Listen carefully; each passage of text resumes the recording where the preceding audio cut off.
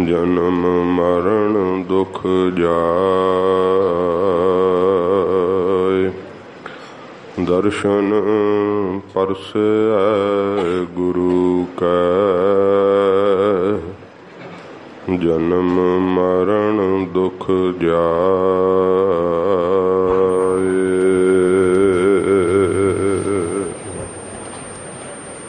ਸਤ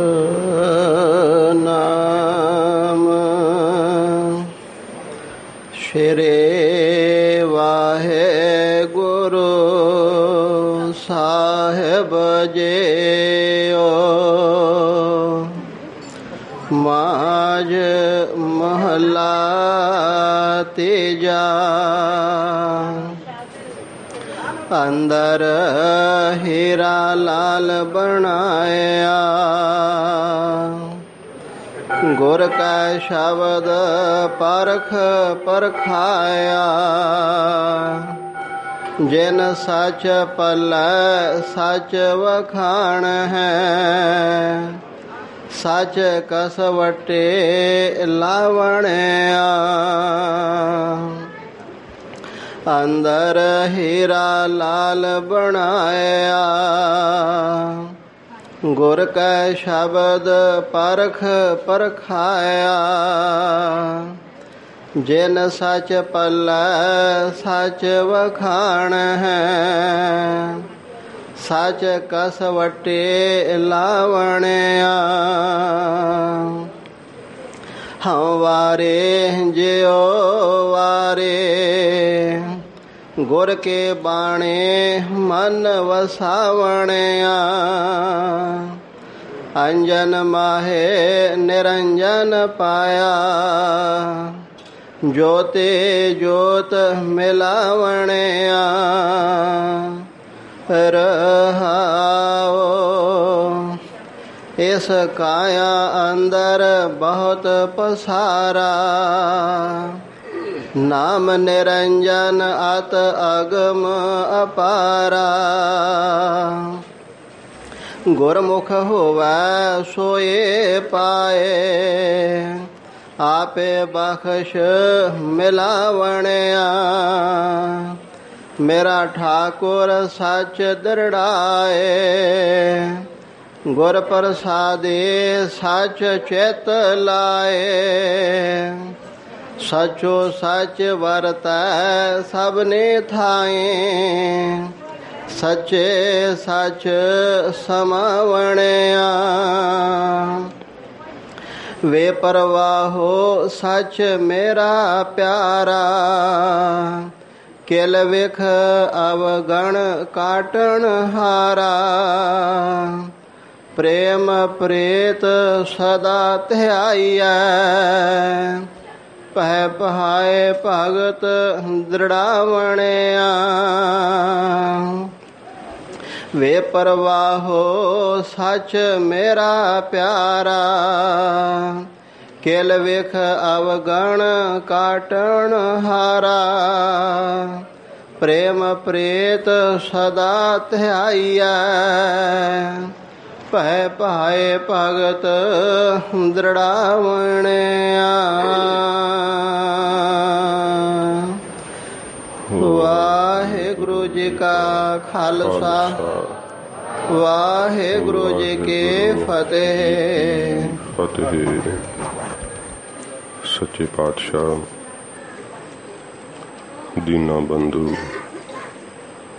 ਕਿਰਪਾ ਦੇ ਸਾਗਰ ਜਾਗਦੀ ਜੋਤ ਦਸ ਪਾਤਸ਼ਾਹੀਆਂ ਦੇ ਆਤਮਕ ਸਵਰੂਪ ਤਨ ਸਾਹਿਬ ਸ੍ਰੀ ਗੁਰੂ ਗ੍ਰੰਥ ਸਾਹਿਬ ਜੀ ਮਹਾਰਾਜ। ਹਜੂਰ ਦੀ ਪਰਮ ਦਇਆ ਸਦਕਾ। ਆਪ ਜੀ ਆਪਣੇ ਜੀਵਨ ਦੀਆਂ ਅਮੋਲਕ ਘੜੀਆਂ ਨੂੰ ਸਫਲਿਆਂ ਕਰ ਰਹੇ ਹੋ। ਬਾਜਾਂ ਵਾਲੇ ਚੋਜੀ ਪਾਤਸ਼ਾਹ ਧੰਨ ਗੁਰੂ ਗੋਬਿੰਦ ਸਿੰਘ ਸੱਚੇ ਪਾਤਸ਼ਾਹ ਜੀ ਮਹਾਰਾਜ ਦੇ ਮਹਾਨ ਪਵਿੱਤਰ ਸਥਾਨ, ਤਖਤ ਸੱਚਖੰਡ, ਸ੍ਰੀ ਹਜੂਰ, ਸ਼੍ਰੀ ਅਬਚਲ ਨਗਰ ਸਾਹਿਬ ਵਿਖੇ ਆਪ ਜੀ ਨੂੰ ਦਰਸ਼ਨ ਦਿਦਾਰਿਆਂ ਦਾ ਇਹ ਭਾਗ ਸਮਾਂ ਪ੍ਰਾਪਤ ਹੋਇਆ ਹੈ। ਵਿਸ਼ੇਸ਼ ਹੋਲੇ ਮਹੱਲੇ ਦਾ ਪੁਰਬ ਬੜੇ ਉਤਸ਼ਾਹ ਨਾਲ ਸੱਚੇ ਪਾਤਸ਼ਾਹ ਜੀ ਦੀ ਸੰਗਤ ਵਿੱਚ ਗੁਰਸਿੱਖ ਲਾਹਾ ਪ੍ਰਾਪਤ ਕਰ ਰਹੇ ਨੇ। ਸੱਚੇ ਪਾਤਸ਼ਾਹ ਜੀ ਦੇ ਘਰ ਦੇ ਅੰਦਰ ਸਾਧ ਸੰਗਤ ਜੀ ਹੋਲੇ ਦਾ ਪੁਰਬ ਬਹੁਤ ਗੁਰਸਿੱਖ ਭਾਵਨਾ ਨਾਲ ਮਨਾਉਂਦੇ ਆ। ਇਸ ਰਵਾਇਤ ਨੂੰ ਸੱਚੇ ਪਾਤਸ਼ਾਹ ਜੀ ਮਹਾਰਾਜ ਨੇ ਆਪ ਤੋਰਿਆ ਏ। ਭਾਰਤ ਵਰਸ਼ ਦੇ ਅੰਦਰ ਹੋਲੀ ਕਿਉਂ ਮਨਾਈ ਜਾਂਦੀ ਹੈ? ਇਹਦਾ ਕੀ ਪਿਛੋਕੜ ਹੈ? ਜਦੋਂ ਪੁਰਬ ਆਉਂਦਾ ਹੈ, ਤਕਰੀਬਨ ਹਰ ਸਾਲ ਹੀ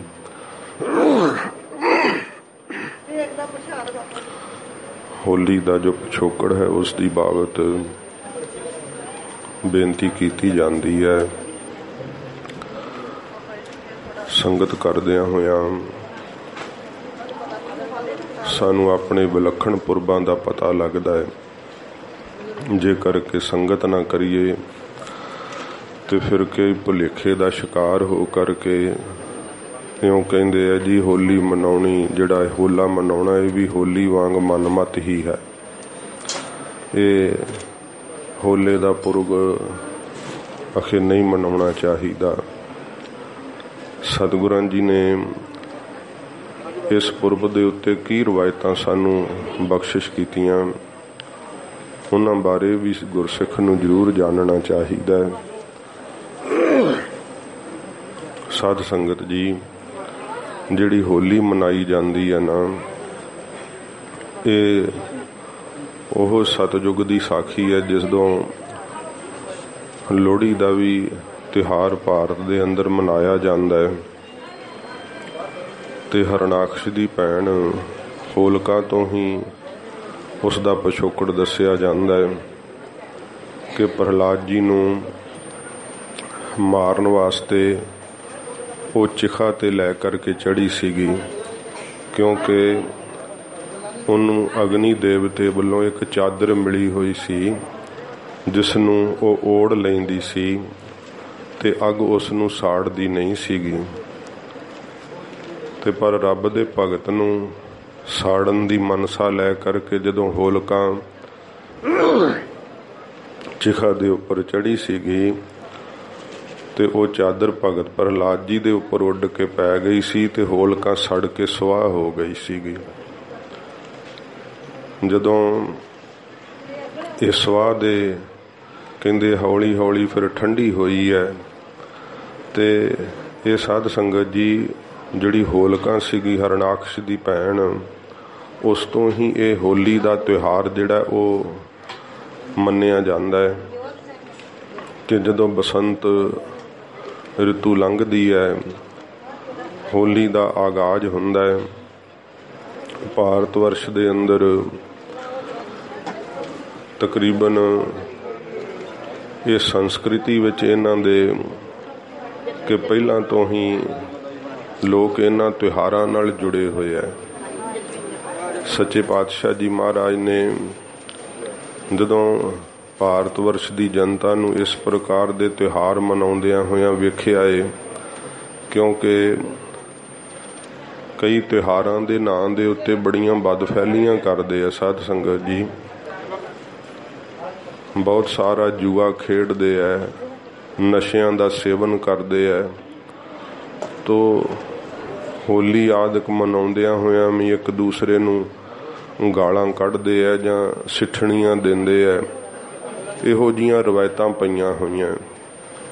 ਸੱਚੇ ਪਾਤਸ਼ਾਹ ਜੀ ਮਹਾਰਾਜ ਨੇ ਇਹ ਭੈੜੀਆਂ ਕੁਰੀਤੀਆਂ ਜਿਹੜੀਆਂ ਸੀਗੀਆਂ ਨਾ ਇਹਨਾਂ ਨੂੰ ਦੂਰ ਕਰਨ ਲਈ ਹੋਲੀ ਦਾ ਨਵੀਨਕਰਨ ਕਰਕੇ ਆਪਣੇ ਖਾਲਸੇ ਨੂੰ ਮਹਾਰਾਜ ਹੋਲਾ ਦਿੱਤਾ ਸੱਚੇ ਪਾਤਸ਼ਾਹ ਜੀ ਨੇ।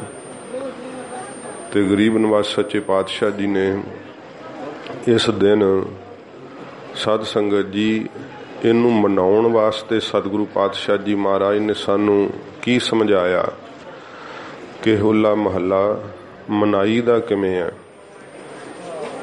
ਕਿਉਂਕਿ ਜੇ ਸਾਨੂੰ ਪੁਰਬ ਮਨਾਉਣਾ ਹੀ ਨਾ ਆਉਂਦਾ ਹੋਵੇ। ਤੇ ਫਿਰ ਆਪਾਂ ਪੁਰਬ ਮਨਾਏ ਹੋਏ ਦਾ ਲਾਭ ਨਹੀਂ ਪ੍ਰਾਪਤ ਕਰ ਸਕਦੇ। ਮਹਾਰਾਜ ਜੀ ਦੇ ਦੁਆਰੇ ਤੇ ਗੁਰਸਿੱਖ ਆਉਂਦੇ ਐ।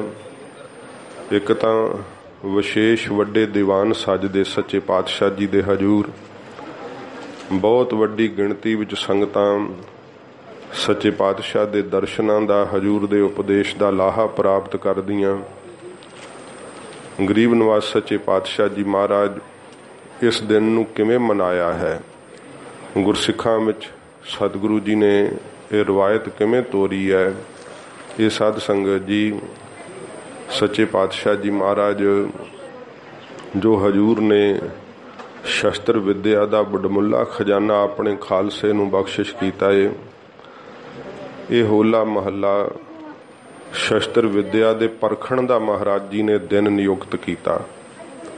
ਜਿਵੇਂ ਦੁਸ਼ਹਿਰੇ ਦਾ ਪੁਰਬ ਆਉਂਦਾ ਹੈ, ਸਤਿਗੁਰੂ ਜੀ ਉਦੋਂ ਵੀ ਇਹ ਸ਼ਸਤਰਾਂ ਦੀ ਪਰਖਣਾ ਜਿਹੜੀ ਸੀ ਕਰਿਆ ਕਰਦੇ। ਸੂਰਮੇ ਕਿਸ ਤਰ੍ਹਾਂ ਸ਼ਸਤਰ ਚਲਾਉਂਦੇ ਐ, ਸ਼ਸਤਰਾਂ ਦੀ ਸੇਵਾ ਕੀਤੀ ਜਾਂਦੀ, ਸ਼ਸਤਰਾਂ ਦਾ ਪੂਜਨ ਕੀਤਾ ਜਾਂਦਾ। ਉੱਚੇ ਥਾਂ ਤੇ ਸ਼ਸਤਰਾਂ ਨੂੰ ਸਜਾ ਕੇ ਸੱਚੇ ਪਾਤਸ਼ਾਹ ਆਪ ਚੌਰ ਕਰਦੇ ਇਹ ਗਰੀਬ ਨਵਾਜ਼ ਸੱਚੇ ਪਾਤਸ਼ਾਹ ਨੇ ਰਵਾਇਤਾਂ ਪਾਈਆਂ। ਤੇ ਸਾਨੂੰ ਹੋਲਾ ਮਹੱਲਾ ਕਿਵੇਂ ਮਨਾਉਣਾ ਚਾਹੀਦਾ ਇਹ ਆਪਾਂ ਅਗਲੇ 2 ਦਿਨ ਦੀ ਕਥਾ ਵਿੱਚ ਜ਼ਿਕਰ ਕਰਾਂਗੇ। ਤਕਰੀਬਨ 10 ਤਰੀਕ ਨੂੰ ਸਾਧ ਸੰਗਤ ਜੀ, ਜਿਹੜਾ ਹੈ ਹੋਲੇ ਮਹੱਲੇ ਦਾ ਇਹ ਮਹਾਨ ਪੁਰਬ ਹੈ, ਤਖਤ ਸਾਹਿਬ ਜੀ ਤੋਂ ਮਹੱਲਾ ਜਿਹੜਾ ਹੈ ਸਾਧ ਸੰਗਤ ਜੀ ਖੇਡਿਆ ਜਾਂਦਾ ਏ।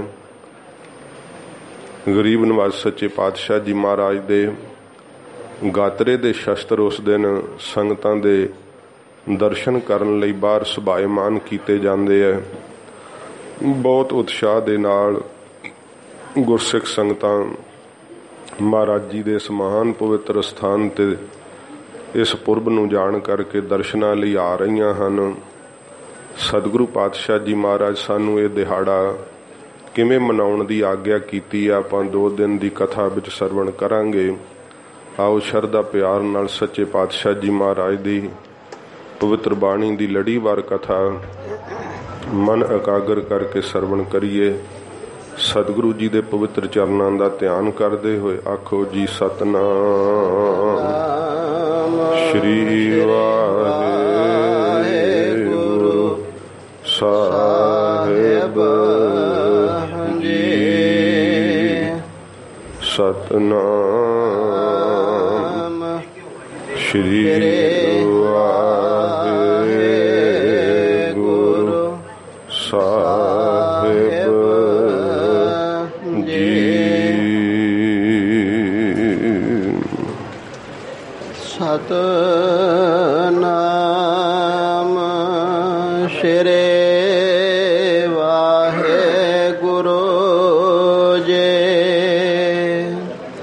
ਮਾਝ ਮਹਲਾ ਤੀਜਾ। ਸੱਚੇ ਪਾਤਸ਼ਾਹ, ਧੰਨ ਗੁਰੂ ਅਮਰਦਾਸ ਸਾਹਿਬ ਜੀ ਮਹਾਰਾਜ, ਗੁਰੂ ਅਮਰਦਾਸ ਕੀ ਆਕਥ ਕਥਾ ਹੈ। ਇੱਕ ਜੀਹ ਕਛ ਕਹੀ ਨਾ ਜਾਈ, ਸੋਢੀ ਸ੍ਰਿਸ਼ਟ ਸਕਲ ਤਾਰਨ ਕਉ, ਅਬ ਗੁਰੂ ਰਾਮਦਾਸ ਕਉ, ਮਿਲੀ ਬਡਾਈ ਧੰਨ ਗੁਰੂ ਅਮਰਦਾਸ, ਸੱਚੇ ਪਾਤਸ਼ਾਹ ਜੀ ਮਹਾਰਾਜ ਹਜੂਰ ਦਾ ਦਰਸ਼ਨ ਕਰਦਿਆਂ ਹੋਇਆਂ ਪਟਾਂ ਨੇ ਆਪਣੀ ਬਾਣੀ ਤੋਂ ਆਪਣੀ ਰਸਨਾ ਤੋਂ ਇਹ ਸ਼ਬਦ ਕਹੇ ਹੈ ਸੱਚੇ ਪਾਤਸ਼ਾਹ, ਆਪ ਦੀ ਕਥਾ ਅਕਥ ਹੈ ਤੁਹਾਡੇ ਗੁਣਾਂ ਨੂੰ ਮਹਾਰਾਜ ਗਿਣਿਆ ਨਹੀਂ ਜਾ ਸਕਦਾ। ਇੱਕ ਜੀਬਾਂ ਨਾਲ ਕੋਈ ਪ੍ਰਾਣੀ ਬਿਆਨ ਨਹੀਂ ਕਰ ਸਕਦਾ। ਸੱਚੇ ਪਾਤਸ਼ਾਹ ਜੀ, ਆਪ ਦੀ ਉਪਮਾ ਤੁਹਾਨੂੰ ਹੀ ਮਹਾਰਾਜ ਬਾਣਾ ਆਉਂਦੀ ਹੈ। ਪੱਲੇ ਅਮਰਦਾਸ ਗੁਣ ਤੇਰੇ, ਤੇਰੀ ਉਪਮਾ ਤੋਹੇ ਬਾਣੇ ਆਵੇ। ਐਸੇ ਦੀਨ ਦਿਆਲ ਸਤਿਗੁਰੂ ਜੀ, ਰਾਗ ਮਾਗ ਮਾਜ ਦੇ ਅੰਦਰ ਸੱਚੇ ਪਾਤਸ਼ਾਹ ਜੀ ਪਵਿੱਤਰ ਸਿੱਖਿਆ ਉਪਦੇਸ਼ ਬਖਸ਼ਿਸ਼ ਕਰਦੇ ਹਨ। ਅੰਦਰ ਹੀਰਾ ਲਾਲ ਬਣਾਇਆ। ਸੋ ਰਹਾਉ ਦੀਆਂ ਪੰਕਤੀਆਂ ਆਪ ਜੀ ਇੱਕ ਵਾਰੀ ਪੜੋ ਸੱਚੇ ਪਾਤਸ਼ਾਹ ਜੀ ਮਹਾਰਾਜ ਰਹਾਉ ਦੀਆਂ ਪੰਕਤੀਆਂ ਦੇ ਅੰਦਰ ਅੰਜਨ ਮਾਹੇ ਇਸ ਨੂੰ ਪੜਨਾ ਕਰੋ। ਹਉ ਵਾਰੇ ਜਿਉ ਵਾਰੇ ਗੁਰ ਕੇ ਬਾਣੇ ਮਨ ਵਸਾਵਣਿਆ। ਅੰਜਨ ਮਾਹੇ ਨਿਰੰਜਨ ਪਾਇਆ, ਜੋਤੇ ਜੋਤ ਮਿਲਾਵਣਿਆ। ਗਰੀਬ ਨਵਾਜ ਤਨ ਗੁਰੂ ਅਮਰਦਾਸ ਸੱਚੇ ਪਾਤਸ਼ਾਹ ਜੀ ਦੇ ਪਾਸ ਸਿੱਖਾਂ ਨੇ ਬੇਨਤੀ ਕੀਤੀ ਹੈ। ਮਹਾਰਾਜ, ਇਹ ਸੰਸਾਰ ਦੇ ਅੰਦਰ ਮਹਾਰਾਜ, ਇਹ ਜੀਵ ਵਾਹਿਗੁਰੂ ਨੂੰ ਕਿਵੇਂ ਪ੍ਰਾਪਤ ਕਰਦੇ ਆ? ਇਹ ਮਹਾਰਾਜ ਕਿਰਪਾ ਕਰਕੇ ਦੱਸੋ ਕਿ ਸੰਸਾਰ ਤੇ ਪਾਪਾਂ ਦੀ ਕਾਲਖ ਨਾਲ ਭਰਿਆ ਹੋਇਆ ਹੈ। ਮਹਾਰਾਜ ਜੀਵ ਬਹੁਤਾਤ ਪਾਪਾਂ ਵਿੱਚ ਗ੍ਰਸਤ ਹੋ ਜਾਂਦੇ ਆ, ਪਰ ਇਸ ਸੰਸਾਰ ਵਿੱਚ ਰਹਿੰਦਿਆਂ ਹੋਇਆਂ ਹੀ ਜਿਨ੍ਹਾਂ ਨੂੰ ਪਰਮੇਸ਼ਰ ਮਿਲ ਜਾਂਦਾ ਹੈ, ਸੱਚੇ ਪਾਤਸ਼ਾਹ, ਉਹਨਾਂ ਨੂੰ ਕਿਹੜੀ ਕਮਾਈ ਕਰਕੇ ਵਾਹਿਗੁਰੂ ਜੀ ਪ੍ਰਾਪਤ ਹੁੰਦੇ ਆ? ਅੰਜਨ ਮਾਹੇ ਨਰੰਜਨ ਪਾਇਆ। ਅੰਜਨ ਸਾਧ ਸੰਗਤ ਜੀ ਕਾਲਖ ਨੂੰ ਕਹਿੰਦੇ ਆ ਸੱਚੇ ਪਾਤਸ਼ਾਹ, ਇਹ ਜਿਹੜੀ ਮਾਇਆ ਦੀ ਕਾਲਖ ਹੈ ਜੀਆਂ ਦੇ ਚਿੱਤਾਂ ਨੂੰ ਕਾਲਿਆਂ ਕਰ ਰਹੀ ਹੈ ਮਹਾਰਾਜ, ਸਭ ਦੇ ਮਨ ਮਾਇਆ ਕਰਕੇ ਮੈਲੇ ਹੁੰਦੇ ਜਾਂਦੇ ਐ। ਪਰ ਮਹਾਰਾਜ ਜੀ, ਉਹ ਮਾਇਆ ਵਿੱਚ ਰਹਿੰਦੇ ਹੋਏ ਹੀ ਵਾਹਿਗੁਰੂ ਜੀ ਨੂੰ ਕਿਵੇਂ ਪਾ ਲੈਂਦੇ ਐ, ਸੱਚੇ ਪਾਤਸ਼ਾਹ? ਇਹ ਆਪ ਕਿਰਪਾ ਕਰਕੇ ਦੱਸੋ। ਤੇ ਗਰੀਬ ਨਿਵਾਸ ਸੱਚੇ ਪਾਤਸ਼ਾਹ ਨੇ ਰਹਾਉ ਦੀਆਂ ਪੰਕਤੀਆਂ ਵਿੱਚ ਇਹ ਸਾਧ ਸੰਗਤ ਜੀ ਬਖਸ਼ਿਸ਼ ਕੀਤੀ ਹੈ ਕਿ ਇਸ ਮਾਇਆ ਵਿੱਚ ਰਹਿੰਦਿਆਂ ਹੋਇਆਂ ਪਰਮੇਸ਼ਰ ਦੇ ਸਰੂਪ ਦਾ ਅਨੁਭਵ ਕਿਵੇਂ ਪ੍ਰਾਪਤ ਹੁੰਦਾ ਹੈ ਤੋ ਸਤਿਗੁਰੂ ਜੀ ਫਰਮਾਉਂਦੇ ਹਨ ਆਰੰਭ ਤੋਂ। ਹੀਰਾ ਲਾਲ ਬਣਾਇਆ। ਸਤਿਗੁਰੂ ਜੀ ਫਰਮਾਉਂਦੇ ਆ ਗੁਰਸਿੱਖੋ ਜੀਵ ਦੇ ਅੰਦਰ ਨਾ ਪਰਮੇਸ਼ਰ ਨੇ ਜੋ ਹੀਰੇ ਦੀ ਤਰ੍ਹਾਂ ਸੁੱਧ ਵੈ, ਲਾਲ ਦੀ ਨਿਆਈ ਬੜਾ ਹੀ ਅਮੋਲਕ ਵੈ, ਬੇਸ਼ਕੀਮਤਾ ਹੈ, ਉਸ ਪਰਮੇਸ਼ਰ ਨੇ ਆਪਣਾ ਸਰੂਪ ਜੀਵ ਦੇ ਹਿਰਦੇ ਦੇ ਅੰਦਰ ਬਣਾਇਆ ਹੋਇਆ ਹੈ। ਆਪਣੇ ਰਹਿਣ ਦਾ ਥਾਂ ਕਿੱਥੇ ਬਣਾਇਆ ਹੈ? ਜੀਵ ਦੇ ਹਿਰਦੇ ਦੇ ਅੰਦਰ ਬਣਾਇਆ ਹੈ। ਪਰ ਜੀਵ ਨੂੰ ਪਤਾ ਨਹੀਂ ਚੱਲਦਾ। ਸੱਚੇ ਪਾਤਸ਼ਾਹ ਜੀ ਨੇ ਕਿਹਾ ਹੈ ਨਾ, ਨੌ ਨਿਦ ਅੰਮ੍ਰਿਤ ਪ੍ਰਭ ਕਾ ਨਾਮ, ਦੇਹੀ ਮਹਿ ਇਸ ਕਾ ਬਿਸਰਾਮ। ਵਾਹਿਗੁਰੂ ਦਾ ਨਾਮ ਕਿੱਥੇ ਹੈ? ਇਸ ਦੇਹ ਦੇ ਅੰਦਰ ਵਿਸ਼ਰਾਮ ਹੈ ਪਰਮੇਸ਼ਰ ਦੇ ਨਾਮ ਦਾ।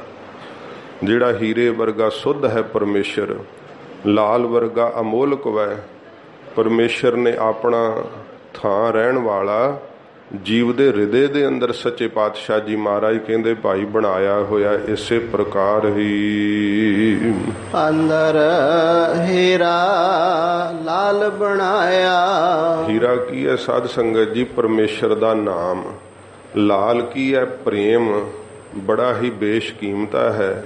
ਕਿਸੇ ਮੁੱਲ ਵਟੇ ਪ੍ਰੇਮ ਨਹੀਂ ਪ੍ਰਾਪਤ ਹੁੰਦਾ। ਸੱਚੇ ਪਾਤਸ਼ਾਹ ਜੀ ਕਹਿੰਦੇ ਨੇ ਜੀਵ ਦੇ ਅੰਦਰ ਹੀ ਵਾਹਿਗੁਰੂ ਨੇ ਆਪਣੇ ਹੀਰੇ ਵਰਗਾ ਅਮੋਲਕ ਨਾਮ ਧਰਿਆ ਹੋਇਆ ਹੈ। ਜੀਵ ਦੇ ਅੰਦਰ ਹੀ ਪ੍ਰੇਮ ਦਾ ਪਦਾਰਥ ਜਿਹੜਾ ਨਾ ਉਹ ਵਾਹਿਗੁਰੂ ਨੇ ਰੱਖਿਆ ਹੋਇਆ ਹੈ ਬਣਾਇਆ ਹੋਇਆ ਏ ਗੁਰ ਕੈ ਸ਼ਬਦ ਪਰਖ ਪਰਖਾਇਆ। ਪਰ ਸੱਚੇ ਪਾਤਸ਼ਾਹ ਜੀ ਇਹਦਾ ਪਤਾ ਕਿਹਨੂੰ ਲੱਗਦਾ ਹੈ? ਮਹਾਰਾਜ ਕਹਿੰਦੇ ਜਿਹੜੇ ਗੁਰੂ ਜੀ ਦੇ ਸ਼ਬਦ ਦੀ ਕਮਾਈ ਕਰਦੇ ਆ ਨਾ ਗੁਰਸਿੱਖੋ, ਉਹ ਪਰਖ ਲੈਂਦੇ ਆਪਣੇ ਅੰਦਰ।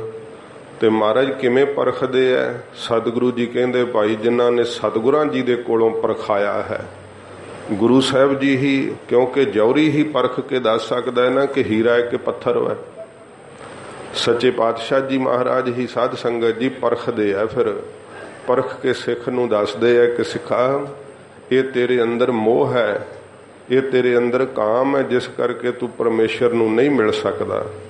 ਸੱਚੇ ਪਾਤਸ਼ਾਹ ਹੀ ਸਾਨੂੰ ਇਹ ਸਾਰੇ ਔਗਣ ਦਿਖਾ ਦਿੰਦੇ ਐ ਔਗਣ ਕਰਦਿਆਂ ਹੋਇਆਂ ਮਨੁੱਖ ਨੂੰ ਆਪਣੇ ਔਗਣ ਪ੍ਰਤੀਤ ਨਹੀਂ ਹੁੰਦੇ। ਪਰ ਜਦੋਂ ਸਤਿਗੁਰੂ ਜੀ ਦੇ ਸ਼ਬਦ ਦੀ ਕਮਾਈ ਕਰੀਏ ਨਾ, ਤੇ ਮਹਾਰਾਜ ਸੱਚੇ ਪਾਤਸ਼ਾਹ ਜੀ ਦੇ ਕੋਲੋਂ ਫਿਰ ਆਪਣੇ ਆਪ ਨੂੰ ਜਦੋਂ ਪਰਖਾਉਂਦੇ ਐ ਕਿ ਮਹਾਰਾਜ ਮੈਨੂੰ ਦੱਸੋ, ਮੈਂ ਕੌਣ ਹਾਂ? ਮਹਾਰਾਜ, ਮੈਨੂੰ ਮੇਰੇ ਨਾਲ ਮੇਰੀ ਪਹਿਚਾਣ ਕਰਾ ਦਿਓ। ਮੈਨੂੰ ਨਹੀਂ ਪਤਾ ਮੈਂ ਕੌਣ ਹਾਂ। ਜਨਮਾਂ ਜਨਮਾਂਤਰਾਂ ਦੇ ਅੰਦਰ ਮਹਾਰਾਜ ਧੱਕੇ ਖਾਂਦਿਆਂ ਹੋਇਆਂ ਖੌਰੇ ਕਿੰਨੇ ਕੁ ਜਨਮ ਬਤੀਤ ਹੋ ਗਏ ਐ, ਪਰ ਮੈਨੂੰ ਨਹੀਂ ਪਤਾ ਲੱਗਾ ਕਿ ਮੈਂ ਕੌਣ ਹਾਂ। ਸਤਿਗੁਰੂ ਜੀ ਦੇ ਕੋਲੋਂ ਜਿਹੜੇ ਫਿਰ ਪਰਖਾਉਂਦੇ ਐ, ਮਹਾਰਾਜ ਉਹਨਾਂ ਨੂੰ ਦੱਸਦੇ ਐ, ਸਿੱਖਾ ਇਹ ਤੈਨੂੰ ਮਨੁੱਖਾ ਜਨਮ ਮਿਲਿਆ ਤੇਰੇ ਅੰਦਰ ਹੀਰੇ ਵਰਗਾ ਅਮੋਲਕ ਨਾਮ ਮੈਂ ਉਹਨੂੰ ਵੇਖ। ਸਤਿਗੁਰੂ ਜੀ ਦੇ ਕੋਲੋਂ ਜਦੋਂ ਪਰਖਾਉਂਦੇ ਐ ਤੇ ਫਿਰ ਉਹਨਾਂ ਨੂੰ ਸਾਧ ਸੰਗਤ ਜੀ ਪਰਖਾ ਜਾਂਦੀ ਹੈ। ਉਹਨਾਂ ਨੂੰ ਪਤਾ ਲੱਗ ਜਾਂਦਾ ਹੈ। ਜਦੋਂ ਕਿਸੇ ਚੀਜ਼ ਨੂੰ ਤੁਸੀਂ ਬਾਜ਼ਾਰ ਵਿੱਚੋਂ ਲੈਂਦੇ ਹੋ, ਤਾਂ ਪਰਖਦੇ ਹੋ ਨਾ ਕਿ ਖਰੀ ਹੈ ਜਾਂ ਨਹੀਂ ਹੈ। ਮਨੁੱਖ ਨੂੰ ਇਸ ਜੀਵਨ ਦੇ ਅੰਦਰ ਪਤਾ ਹੀ ਨਹੀਂ ਲੱਗਦਾ ਕਿ ਖਰਾ ਕੀ ਹੈ ਤੇ ਖੋਟਾ ਕੀ ਹੈ। ਵਕਾਰਾਂ ਨੂੰ ਖਰੇ ਜਾਣ ਕੇ ਭੋਗਦਾ ਰਹਿੰਦਾ ਹੈ। ਪਦਾਰਥਾਂ ਨੂੰ ਖਰੇ ਜਾਣ ਕੇ ਇਕੱਠਾ ਕਰਦਾ ਰਹਿੰਦਾ ਹੈ। ਪਰ ਸਾਧ ਸੰਗਤ ਜੀ, ਖਰਾ ਤਾਂ ਪਰਮੇਸ਼ਰ ਦਾ ਨਾਮ ਹੈ। ਇਹ ਸਾਰਾ ਮਾਇਆ ਦਾ ਪਸਾਰਾ ਖੋਟਾ ਏ, ਪਰ ਜੀਵ ਨੂੰ ਖਰਾ ਪ੍ਰਤੀਤ ਹੋ ਰਿਹਾ ਭਰਮ ਕਰਕੇ।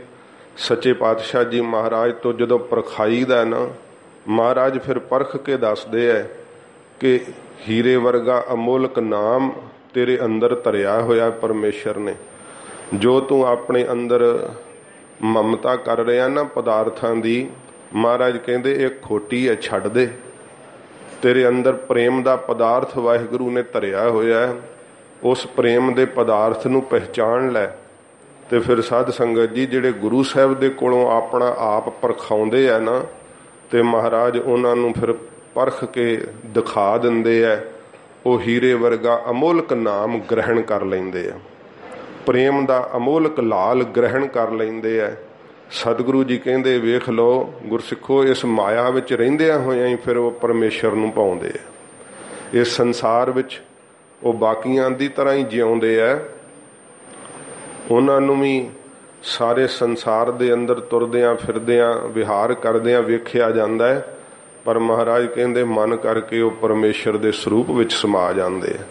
ਸਰੀਰ ਕਰਕੇ ਦਿਸਦੇ ਆ, ਦੀਸੈ ਸਾਮਹਿ, ਸਭ ਤੇ ਰਹਤੇ, ਪਾਰ ਬ੍ਰਹਮ ਕਾ ਉਹ ਧਿਆਨ ਧਰਤੇ। ਅੰਦਰੋਂ ਉਹ ਪਰਖ ਲੈਂਦੇ ਆ ਕਿ ਮਨਾ ਵਕਾਰ ਖੋਟੇ ਆ, ਇਹਨਾਂ ਨੂੰ ਛੱਡ ਦੇ। ਸਤਿਗੁਰੂ ਜੀ ਦੇ ਸ਼ਬਦ ਦੀ ਕਮਾਈ ਨਾਲ ਜਿਨ੍ਹਾਂ ਨੇ ਫਿਰ ਪਰਖ ਕੀਤੀ ਹੈ ਸ਼ਬਦ ਦੀ ਕਸਵੱਟੀ ਲਾ ਕਰਕੇ ਜਿਨ੍ਹਾਂ ਨੇ ਸਾਧ ਸੰਗਤ ਜੀ ਪਰਖ ਕੀਤੀ ਹੈ ਉਹਨਾਂ ਨੂੰ ਫਿਰ ਇਹ ਪਤਾ ਲੱਗ ਗਿਆ ਇਹ ਸਤਿਗੁਰੂ ਜੀ ਨੇ ਹੀ ਉਹਨਾਂ ਨੂੰ ਪਰਖਣ ਦੀ ਦਾਤ ਦਿੱਤੀ ਹੈ, ਜਿਨ੍ਹਾਂ ਨੇ ਮਹਾਰਾਜ ਦੇ ਕੋਲੋਂ ਆਪਣੇ ਆਪ ਨੂੰ ਪਰਖਾਇਆ ਹੈ। ਸੱਚੇ ਪਾਤਸ਼ਾਹ ਜੀ ਨੂੰ ਬੇਨਤੀ ਕਰਕੇ ਜੋਦੜੀ ਕਰਕੇ ਇਹ ਕਿਹਾ, ਮਹਾਰਾਜ, ਮੈਨੂੰ ਦੱਸੋ ਕਿ ਮੇਰਾ ਅਸਲ ਸਰੂਪ ਕੀ ਹੈ? ਮਹਾਰਾਜ, ਮੈਨੂੰ ਮੇਰਾ ਆਪਾ ਜਣਾ ਦਿਓ। ਸਤਿਗੁਰੂ ਜੀ ਨੇ ਜਦੋਂ ਜਣਾਇਆ ਤੇ ਫਿਰ ਪਰਖ ਹੋਈ, ਫਿਰ ਪਤਾ ਲੱਗਾ ਕਿ ਅਸਲ ਵਿੱਚ ਮੈਂ ਜੰਮਣ ਮਰਨ ਵਿੱਚ ਨਹੀਂ ਹਾਂ। ਮੈਂ ਦੁੱਖਾਂ ਸੁੱਖਾਂ ਨੂੰ ਭੋਗਣ ਸੰਸਾਰ ਵਿੱਚ ਨਹੀਂ ਆਇਆ। ਮੈਂ ਤਾਂ ਵਾਹਿਗੁਰੂ ਦੇ ਪ੍ਰੇਮ ਨੂੰ ਆਨੰਦ ਨੂੰ ਪ੍ਰਾਪਤ ਕਰਨ ਵਾਸਤੇ ਇਹ ਮਨੁੱਖਾ ਜਨਮ ਪ੍ਰਾਪਤ ਕੀਤਾ ਹੈ। ਸਤਿਗੁਰੂ ਜੀ ਕਹਿੰਦੇ ਨੇ, ਵਾਹਿਗੁਰੂ ਨੇ ਅੰਦਰ ਹੀ ਜੀਵ ਦੇ ਬਣਾਇਆ ਹੋਇਆ ਹੈ। ਹੀਰੇ ਵਰਗਾ ਅਮੋਲਕ ਨਾਮ ਤੇ ਲਾਲ ਵਰਗਾ ਅਮੋਲਕ ਸਾਧ ਸੰਗਤ ਜੀ ਪ੍ਰੇਮ, ਇਹ ਸਭ ਦੇ ਅੰਦਰ ਹੀ ਧਰਿਆ ਹੋਇਆ ਪਰ ਹੁਣ ਜੇ ਜੀਵ ਪਰਖੇ ਹੀ ਨਾ ਤੇ ਪਰਖ ਵੀ ਉਹਨਾਂ ਚਿਰ ਨਹੀਂ ਨਾ ਸਕਦਾ, ਜਿੰਨਾ ਚਿਰ ਕਿਸੇ ਸਾਧ ਸੰਗਤ ਜੀ ਸਰਾਫੀ ਕੋਲ ਨਾ ਹੀਰਾ ਜਾਵੇ। ਕਿਵੇਂ ਪਤਾ ਲੱਗ ਸਕਦਾ ਹੈ? ਜਿਹੜਾ ਸਰਾਫ ਹੁੰਦਾ ਨਾ, ਜਿਹੜਾ ਜੌਹਰੀ ਹੁੰਦਾ ਨਾ, ਉਹੋ ਹੀ ਪਰਖ ਕੇ ਦੱਸ ਸਕਦਾ ਨਾ। ਪਰਖ ਖਜ਼ਾਨਾ ਪਾਇਆ ਸਰਾਫੀ, ਫਿਰ ਨਾ ਹੀ ਤਾਈਜਾ ਹੈ ਤਾਲ ਆਉਂਦੇ ਆ ਨਾ ਸੋਨੇ ਨੂੰ।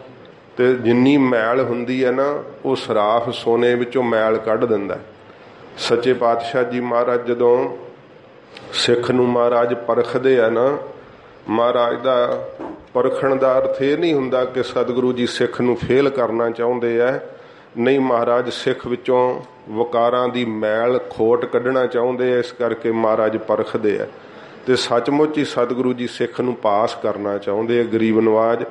ਸੱਚੇ ਪਾਤਸ਼ਾਹ ਜੀ ਮਹਾਰਾਜ, ਧੰਨ ਗੁਰੂ ਅਮਰਦਾਸ ਸਾਹਿਬ ਜੀ ਕਹਿੰਦੇ, ਗੁਰਸਿੱਖੋ, ਮੇਰੇ ਵਾਹਿਗੁਰੂ ਨੇ ਆਪਣਾ ਨਾਮ ਰੂਪੀ ਹੀਰਾ ਤੇ ਪ੍ਰੇਮ ਰੂਪੀ ਲਾਲ ਜੀਵ ਦੇ ਅੰਦਰ ਧਰਿਆ ਹੋਇਆ ਹੈ। ਆਪਣਾ ਸੁੱਧ ਸਰੂਪ ਆਪਣੇ ਰਹਿਣ ਵਾਲੀ ਥਾਂ ਜੀਵ ਦੇ ਹਿਰਦੇ ਦੇ ਅੰਦਰ ਬਣਾਈ ਹੋਈ ਹੈ। ਪਰ ਪੂਰੇ ਗੁਰੂ ਜੀ ਤੋਂ ਜਿਹੜੇ ਪਰਖਦੇ ਆ ਨਾ ਇਸ ਚੀਜ਼ ਨੂੰ, ਮਹਾਰਾਜ ਸਾਹਿਬ ਜੀ ਤੋਂ ਪਰਖਾਉਂਦੇ ਆ, ਸੇਵਾ ਕਰਦੇ ਹੋਏ, ਸਿਮਰਨ ਕਰਦੇ ਹੋਏ, ਮਹਾਰਾਜ ਉਹਨਾਂ ਨੂੰ ਦਿਖਾ ਦਿੰਦੇ ਆ। ਕਿ ਦੇਹ ਦਾ ਪ੍ਰੇਮ ਤੇਰਾ ਝੂਠਾ ਏ। ਇਹ ਸਰੀਰ ਜਿਨ੍ਹਾਂ ਨੂੰ ਤੂੰ ਮੋਹ ਕਰਦਾ ਨਾ, ਇਹ ਬੜੀ ਪਰਰਬਦ ਦੀ ਜਿਹੜੀ ਹੈ ਸ਼ਕਤੀ, ਉਹ ਪਰਰਬਦ ਦੇ ਬਲ ਕਰਕੇ ਹੀ ਤੇਰੇ ਨਾਲ ਜੁੜੇ ਹੋਏ ਆ। ਜਦੋਂ ਪਰਰਬਦ ਖਤਮ ਹੁੰਦੀ ਹੈ ਨਾ, ਇਹ ਜੀਵ ਸਰੀਰ ਜਿਹੜੇ ਆ, ਉਹ ਆਪੋ ਆਪਣੇ ਰਾਹ ਤੇ ਚਲੇ ਜਾਂਦੇ ਆ। ਕਿਉਂ ਇਹਨਾਂ ਦੇ ਝੂਠੇ ਮੂੰਹ ਵਿੱਚ ਫਸਿਆ ਹੋਇਆ ਹੈ? ਕਿਹਾ ਨਾ ਮਹਾਰਾਜ ਨੇ ਬਿਰਖੇ ਹੇਠ ਸਭ ਜੰਤ ਇਕੱਠੇ। ਇੱਕ ਤੱਤੇ, ਇੱਕ ਬੋਲਣ ਮਿੱਠੇ, ਅਸਤ ਅਦੋਤ ਭਇਆ ਉਠ ਚੱਲੇ, ਜਿਉਂ ਜਿਉਂ ਔਦ ਵਿਹਾਣੀਆਂ, ਪਰ ਰਬਦ ਕਰਕੇ ਇਹ ਤੇਰੇ ਨਾਲ ਜੁੜੇ ਹੋਏ ਆ ਤੂੰ ਆਪਣੇ ਸਾਥੀ ਸਮਝ ਰਿਹਾ ਮਹਾਰਾਜ ਫਿਰ ਪਰਖ ਦਿੰਦੇ ਆ ਜਿਹੜੇ ਸਤਿਗੁਰੂ ਜੀ ਕੋਲੋਂ ਪਰਖਾਉਂਦੇ ਆ ਮਹਾਰਾਜ ਸੱਚੇ ਪਾਤਸ਼ਾਹ ਉਹਨਾਂ ਨੂੰ ਸੰਸਾਰ ਦੀ ਸਚਾਈ ਗਰੀਬ ਨਵਾਜ ਦਿਖਾ ਦਿੰਦੇ ਆ ਜੇਨ ਸੱਚ ਪੱਲੇ, ਸੱਚ ਵਖਾਣ ਹੈ। ਜਿਨ੍ਹਾਂ ਦੇ ਬੁੱਧੀ ਰੂਪੀ ਪੱਲੇ ਵਿੱਚ ਸੱਚਾ ਨਾਮ ਹੈ ਨਾ, ਮਹਾਰਾਜ ਕਹਿੰਦੇ ਉਹ ਸੱਚੇ ਨਾਮ ਦਾ ਹੀ ਫਿਰ ਕਥਨ ਕਰਦੇ ਆ।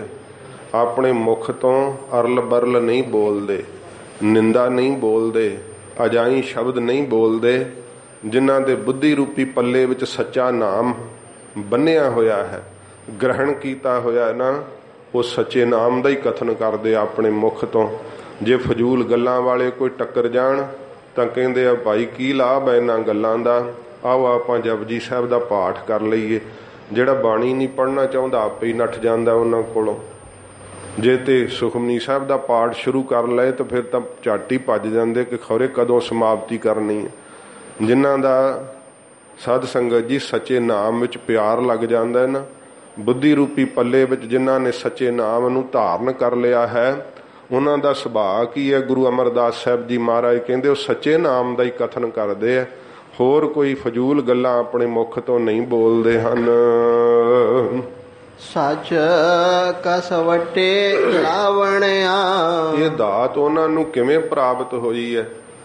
ਸੱਚੇ ਪਾਤਸ਼ਾਹ ਜੀ ਮਹਾਰਾਜ ਕਹਿੰਦੇ ਆ ਪੂਰੇ ਗੁਰੂ ਜੀ ਨੇ ਨਾ ਪ੍ਰੇਮਾ ਭਗਤੀ ਨੂੰ ਪਰਖਣ ਵਾਸਤੇ ਸਾਧ ਸੰਗਤ ਜੀ ਭਾਣਾ ਮਨ ਰੂਪੀ ਕਸਵੱਟੀ ਦੇ ਉੱਤੇ ਲਾਵਣਿਆ ਲਾਉਣਾ ਕੀਤਾ ਹੈ।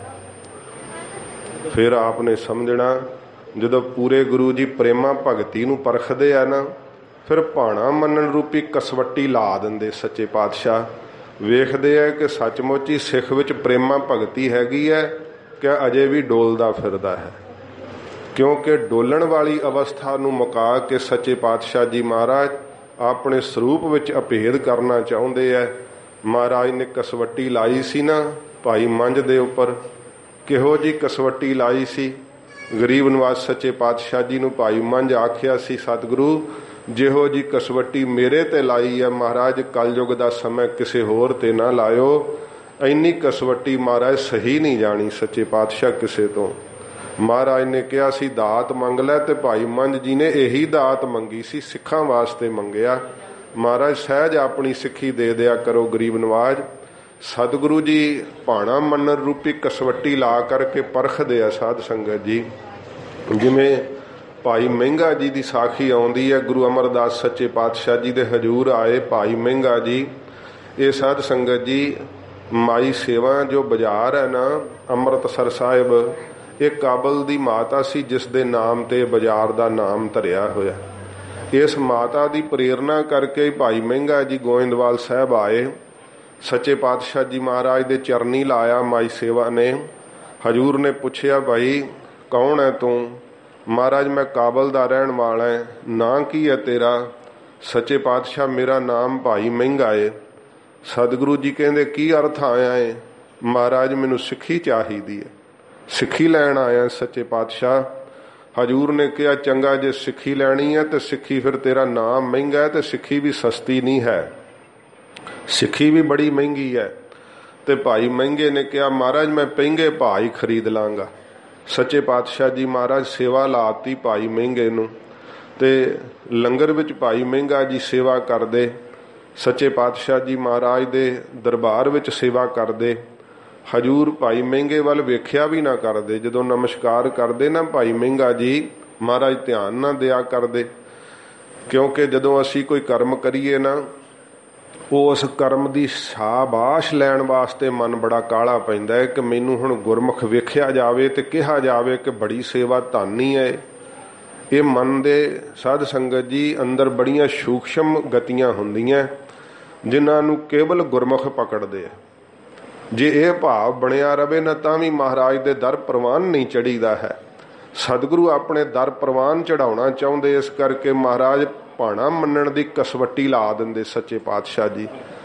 ਤੇ ਜਦੋਂ ਸਾਧ ਸੰਗਤ ਜੀ ਜਿਹੜਾ ਸੁਨਿਆਰਾ ਹੁੰਦਾ ਨਾ, ਸਰਾਫ ਹੁੰਦਾ ਹੈ, ਇਹ ਵੀ ਸੋਨੇ ਵਿੱਚੋਂ ਮੈਲ ਕੱਢਣ ਲਈ ਸਾਧ ਸੰਗਤ ਜੀ ਜਿਹੜਾ ਹੈ ਨਾ, ਸੁਹਾਗੇ ਆਦਿਕ ਦੀ ਧਾਤ ਨੂੰ ਵਰਤਦੇ ਆ।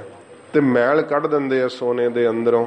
ਸੱਚੇ ਪਾਤਸ਼ਾਹ ਜੀ ਮਹਾਰਾਜ ਭਾਣਾ ਮੰਨਣ ਰੂਪੀ ਕਸਵੱਟੀ ਨੂੰ ਲਾ ਕੇ ਸਿੱਖ ਦੇ ਅੰਦਰੋਂ ਵਕਾਰਾਂ ਦੀ ਮੈਲ ਕੱਢ ਦਿੰਦੇ ਆ ਗਰੀਬ ਨਵਾਜ਼ ਸੱਚੇ ਪਾਤਸ਼ਾਹ। ਜਦੋਂ ਲਾਵਣਿਆਂ ਲਾਉਂਦੇ ਆ ਨਾ ਮਹਾਰਾਜ ਇਸ ਕਸਵੱਟੀ ਦੇ ਉੱਤੇ, ਭਗਤ ਕਬੀਰ ਸਾਹਿਬ ਜੀ ਨੇ ਵੀ ਸ਼ਬਦ ਕਹੇ ਆ, ਕਬੀਰ ਕਸੌਟੀ RAM ਕੀ, ਝੂਠਾ ਟਿਕੈ ਨਾ ਕੋਏ RAM ਕਸੌਟੀ ਸੋਸ ਹੈ ਜੋ ਮਰ ਜੀਵਾ ਹੋਏ। ਜਿਹੜਾ ਜਿਉਂਦਿਆਂ ਜੀ ਹੀ ਮਰ ਗਿਆ ਨਾ, ਉਹ ਮਹਾਰਾਜ ਦੀ ਕਸਵੱਟੀ ਸਹਾਰ ਸਕਦਾ ਸਾਧ ਸੰਗਤ ਜੀ, ਹੋਰ ਤੋਂ ਇਹ ਕਸਵੱਟੀ ਝੱਲੀ ਨਹੀਂ ਜਾਂਦੀ। ਗੁਰਸਿੱਖ ਸਤਿਗੁਰੂ ਜੀ ਦਾ ਦਿਆਲੂ ਸੁਭਾਅ ਜਾਣ ਕਰਕੇ ਪੁਨः ਪੁਨः ਬੇਨਤੀਆਂ ਕਰਦੇ ਮਹਾਰਾਜ, ਜੇ ਕਸਵੱਟੀ ਲਾਓਗੇ, ਤਾਂ ਮਹਾਰਾਜ ਕਸਵੱਟੀ ਵਿੱਚ ਪੂਰਿਆਂ ਵੀ ਤਾਂ ਤੁਸੀਂ ਹੀ ਕਰਨਾ ਨਾ, ਸੱਚੇ ਪਾਤਸ਼ਾਹ। ਮੈਂ ਤਾਂ ਮਹਾਰਾਜ, ਇਹੋ ਜਿਹਾ ਪਾਪੀਆਂ, ਇਹੋ ਜਿਹਾ ਮੇਰਾ ਦਿਲ ਡੋਲਦਾ ਹੈ। ਕਿ ਮਹਾਰਾਜ, ਤੁਹਾਡੀ ਕਸਵੱਟੀ ਵਿੱਚ ਮੈਥੋਂ ਖਰਾ ਨਹੀਂ ਉਤਰਿਆ ਜਾਣਾ। ਜੇ ਤੁਸੀਂ ਆਪਣੀ ਮਿਹਰ ਧਰ ਦਿਓਗੇ ਸੱਚੇ ਪਾਤਸ਼ਾਹ, ਤਾਂ ਤੁਹਾਡੀ ਕਸਵੱਟੀ ਵਿੱਚ ਮੈਂ ਪੂਰਾ ਉਤਰ ਸਕਾਂਗਾ। ਤੇ ਸੱਚਮੁੱਚ ਹੀ ਜਿਹਦੀ ਇਹ ਭਾਵਨਾ ਬਣ ਜਾਂਦੀ, ਜੇ ਕਹੇ ਨਾ, ਮੈਂ ਕਸਵੱਟੀ 'ਚ ਪੂਰਾ ਉਤਰ ਜਾਵਾਂਗਾ, ਤੇ ਸਾਧ ਸੰਗਤ ਜੀ, ਮਹਾਰਾਜ ਦੀ ਕਸਵੱਟੀ ਚੱਲੀ ਨਹੀਂ ਜਾਂਦੀ। ਦੁਨੀ ਚੰਦ ਵਰਗੇ ਲੱਤਾਂ ਤੜਾ ਕੇ ਅਪਜਸ ਨੂੰ ਗਏ ਸੀ। ਸੱਚੇ ਪਾਤਸ਼ਾਹ ਜੀ, ਮਹਾਰਾਜ ਦੀ ਕਸਵੱਟੀ ਚੱਲਣੀ ਬੜੀ ਔਖੀ ਹੈ। ਜਿਹਦੇ ਉੱਤੇ ਸਤਿਗੁਰੂ ਕਿਰਪਾ ਕਰਦੇ ਆ, ਉਹੋ ਹੀ ਕਸਵੱਟੀ ਚੱਲ ਸਕਦਾ ਹੈ। ਮਹਾਰਾਜ ਸੱਚੇ ਪਾਤਸ਼ਾਹ ਦੀ ਸੇਵਾ ਕਰਦੇ ਆ ਭਾਈ ਮਹਿੰਗਾ ਜੀ। ਸਾਧ ਸੰਗਤ ਜੀ, ਰਾਤ ਦਿਨ ਸੇਵਾ ਵਿੱਚ ਗੁਜ਼ਰਦਾ ਹੈ। ਸੱਚੇ ਪਾਤਸ਼ਾਹ ਜੀ ਮਹਾਰਾਜ ਦੇ ਦਰਬਾਰ ਵਿੱਚ ਆਉਂਦੇ ਦਰਸ਼ਨ ਕਰਨ। ਮਹਾਰਾਜ ਸੱਚੇ ਪਾਤਸ਼ਾਹ ਕਦੇ ਧਿਆਨ ਵੀ ਨਹੀਂ ਕਰਦੇ ਗਰੀਬ ਨਵਾਜ। ਭਾਈ ਮਹਿੰਗਾ ਕਦੇ ਸੇਵਾ ਵੱਲੋਂ ਆਪਣਾ ਮਨ ਨਹੀਂ। ਸਾਧ ਸੰਗਤ ਜੀ ਜਿਹੜਾ ਹੈ, ਉਹ ਮੈਲਾ ਕੀਤਾ। ਭਾਵਨਾ ਨਾਲ ਮਨ ਦੀ ਪ੍ਰੀਤ ਨਾਲ ਸੇਵਾ ਕਰਦੇ ਰਹੇ ਤੇ ਉਹ ਸਾਖੀ ਵਿੱਚ ਜ਼ਿਕਰ ਹੈ ਕਿ ਇੱਕ ਰਾਤ ਲੰਗਰ ਬੜਾ ਵਧਿਆ। ਭਾਈ ਮਹਿੰਗਾ ਜੀ ਨੇ ਮਹਾਰਾਜ ਨੂੰ ਬੇਨਤੀ ਕੀਤੀ, ਸੱਚੇ ਪਾਤਸ਼ਾਹ, ਅੱਜ ਲੰਗਰ ਬੜਾ ਵੱਧ ਗਿਆ ਹਜੂਰ ਕਹਿੰਦੇ ਨੇ ਕਿ ਨਗਰ ਦੇ ਪਸ਼ੂਆਂ ਨੂੰ ਪਾ ਦਿਓ, ਕਿਉਂਕਿ ਮਹਾਰਾਜ ਦੇ ਲੰਗਰ ਦਾ ਜ਼ਿਕਰ ਇਤਿਹਾਸ ਨੇ ਕੀਤਾ ਕਿ ਸਤਿਗੁਰੂ ਜੀ ਦਾ ਲੰਗਰ ਰੋਜ਼ ਨਵਾਂ ਤਾਜ਼ਾ ਤਿਆਰ ਹੁੰਦਾ ਸੀ, ਦਿਨ ਚੜ੍ਹਦਿਆਂ। ਬਿਹਾ ਲੰਗਰ ਮਹਾਰਾਜ ਦੇ ਲੰਗਰ ਵਿੱਚ ਨਹੀਂ ਸੀ ਵਰਤਾਇਆ ਜਾਂਦਾ। ਤੇ ਸੱਚੇ ਪਾਤਸ਼ਾਹ ਜੀ ਉਨੀ ਰਸਤ ਗ੍ਰਹਿਣ ਕਰਦੇ ਸੀ ਜਿੰਨੀ ਰੋਜ਼ ਵਰਤ ਜਾਵੇ। ਤੇ ਨਗਰਾਂ ਦੇ ਨਗਰ ਜਿਹੜੇ ਸੀ ਨਾ, ਉਹ ਆਪੋ ਆਪਣੀ ਵਾਰੀ ਸਿਰ ਗੱਡੇ ਭਰ ਭਰ ਕੇ ਮਹਾਰਾਜ ਦੇ ਦੁਆਰੇ ਤੇ ਰਸਤਾਂ ਤੇ ਲੈ ਕੇ ਖਲੋਤੇ ਰਹਿੰਦੇ ਸੀ। ਤੇ ਜਿੱਦ ਕਰਦੇ ਸੀ, ਅੱਜ ਸਾਡੇ ਨਗਰ ਦੀ ਵਾਰੀ ਹੈ, ਅੱਜ ਸਾਡੀ ਰਸਤ ਮਹਾਰਾਜ ਪ੍ਰਵਾਨ ਕਰਨਗੇ। ਸਤਿਗੁਰੂ ਜੀ ਓਨੀ ਰਸਤ ਲੈਂਦੇ ਸੀ ਜਿੰਨੀ ਇੱਕ ਦਿਨ ਵਿੱਚ ਲੰਗਰ ਵਿੱਚ ਵਰਤ ਜਾਵੇ। ਗਰੀਬ ਨਿਵਾਸ ਸੱਚੇ ਪਾਤਸ਼ਾਹ ਦੀ ਆਗਿਆ ਹੋਈ ਤੇ ਭਾਈ ਮਹਿੰਗਾ ਜੀ ਨੇ ਨਗਰ ਦੇ ਪਸ਼ੂਆਂ ਨੂੰ ਉਹ ਲੰਗਰ ਆਦਿਕ ਸਾਧ ਸੰਗਤ ਜੀ ਜਦੋਂ ਪਾਇਆ ਪਰ ਫਿਰ ਵੀ ਲੰਗਰ ਵੱਧ ਗਿਆ। ਆਖਿਆ, ਮਹਾਰਾਜ, ਲੰਗਰ ਤਾਂ ਹੋਰ ਵੱਧ ਗਿਆ ਸਤਿਗੁਰੂ ਜੀ ਕਹਿੰਦੇ, ਬਿਆਸ ਦਰਿਆ ਦੀ ਭੇਟ ਕਰ ਦਿਓ। ਜਲ ਦੇ ਜੀਵ ਜੰਤੂ ਛਕ ਲੈਣਗੇ। ਇਹ ਲੰਗਰ ਦੀ ਮਰਿਆਦਾ ਸਾਧ ਸੰਗਤ ਜੀ। ਲੰਗਰ ਉਹਨਾਂ ਲੈਣਾ ਚਾਹੀਦਾ ਜਿੰਨਾ ਛਕ ਲਈਏ। ਲਾਲਚ ਵਸ ਜ਼ਿਆਦਾ ਪਵਾ ਕਰਕੇ ਫਿਰ ਝੂਠ ਨਹੀਂ ਛੱਡਣੀ ਚਾਹੀਦੀ।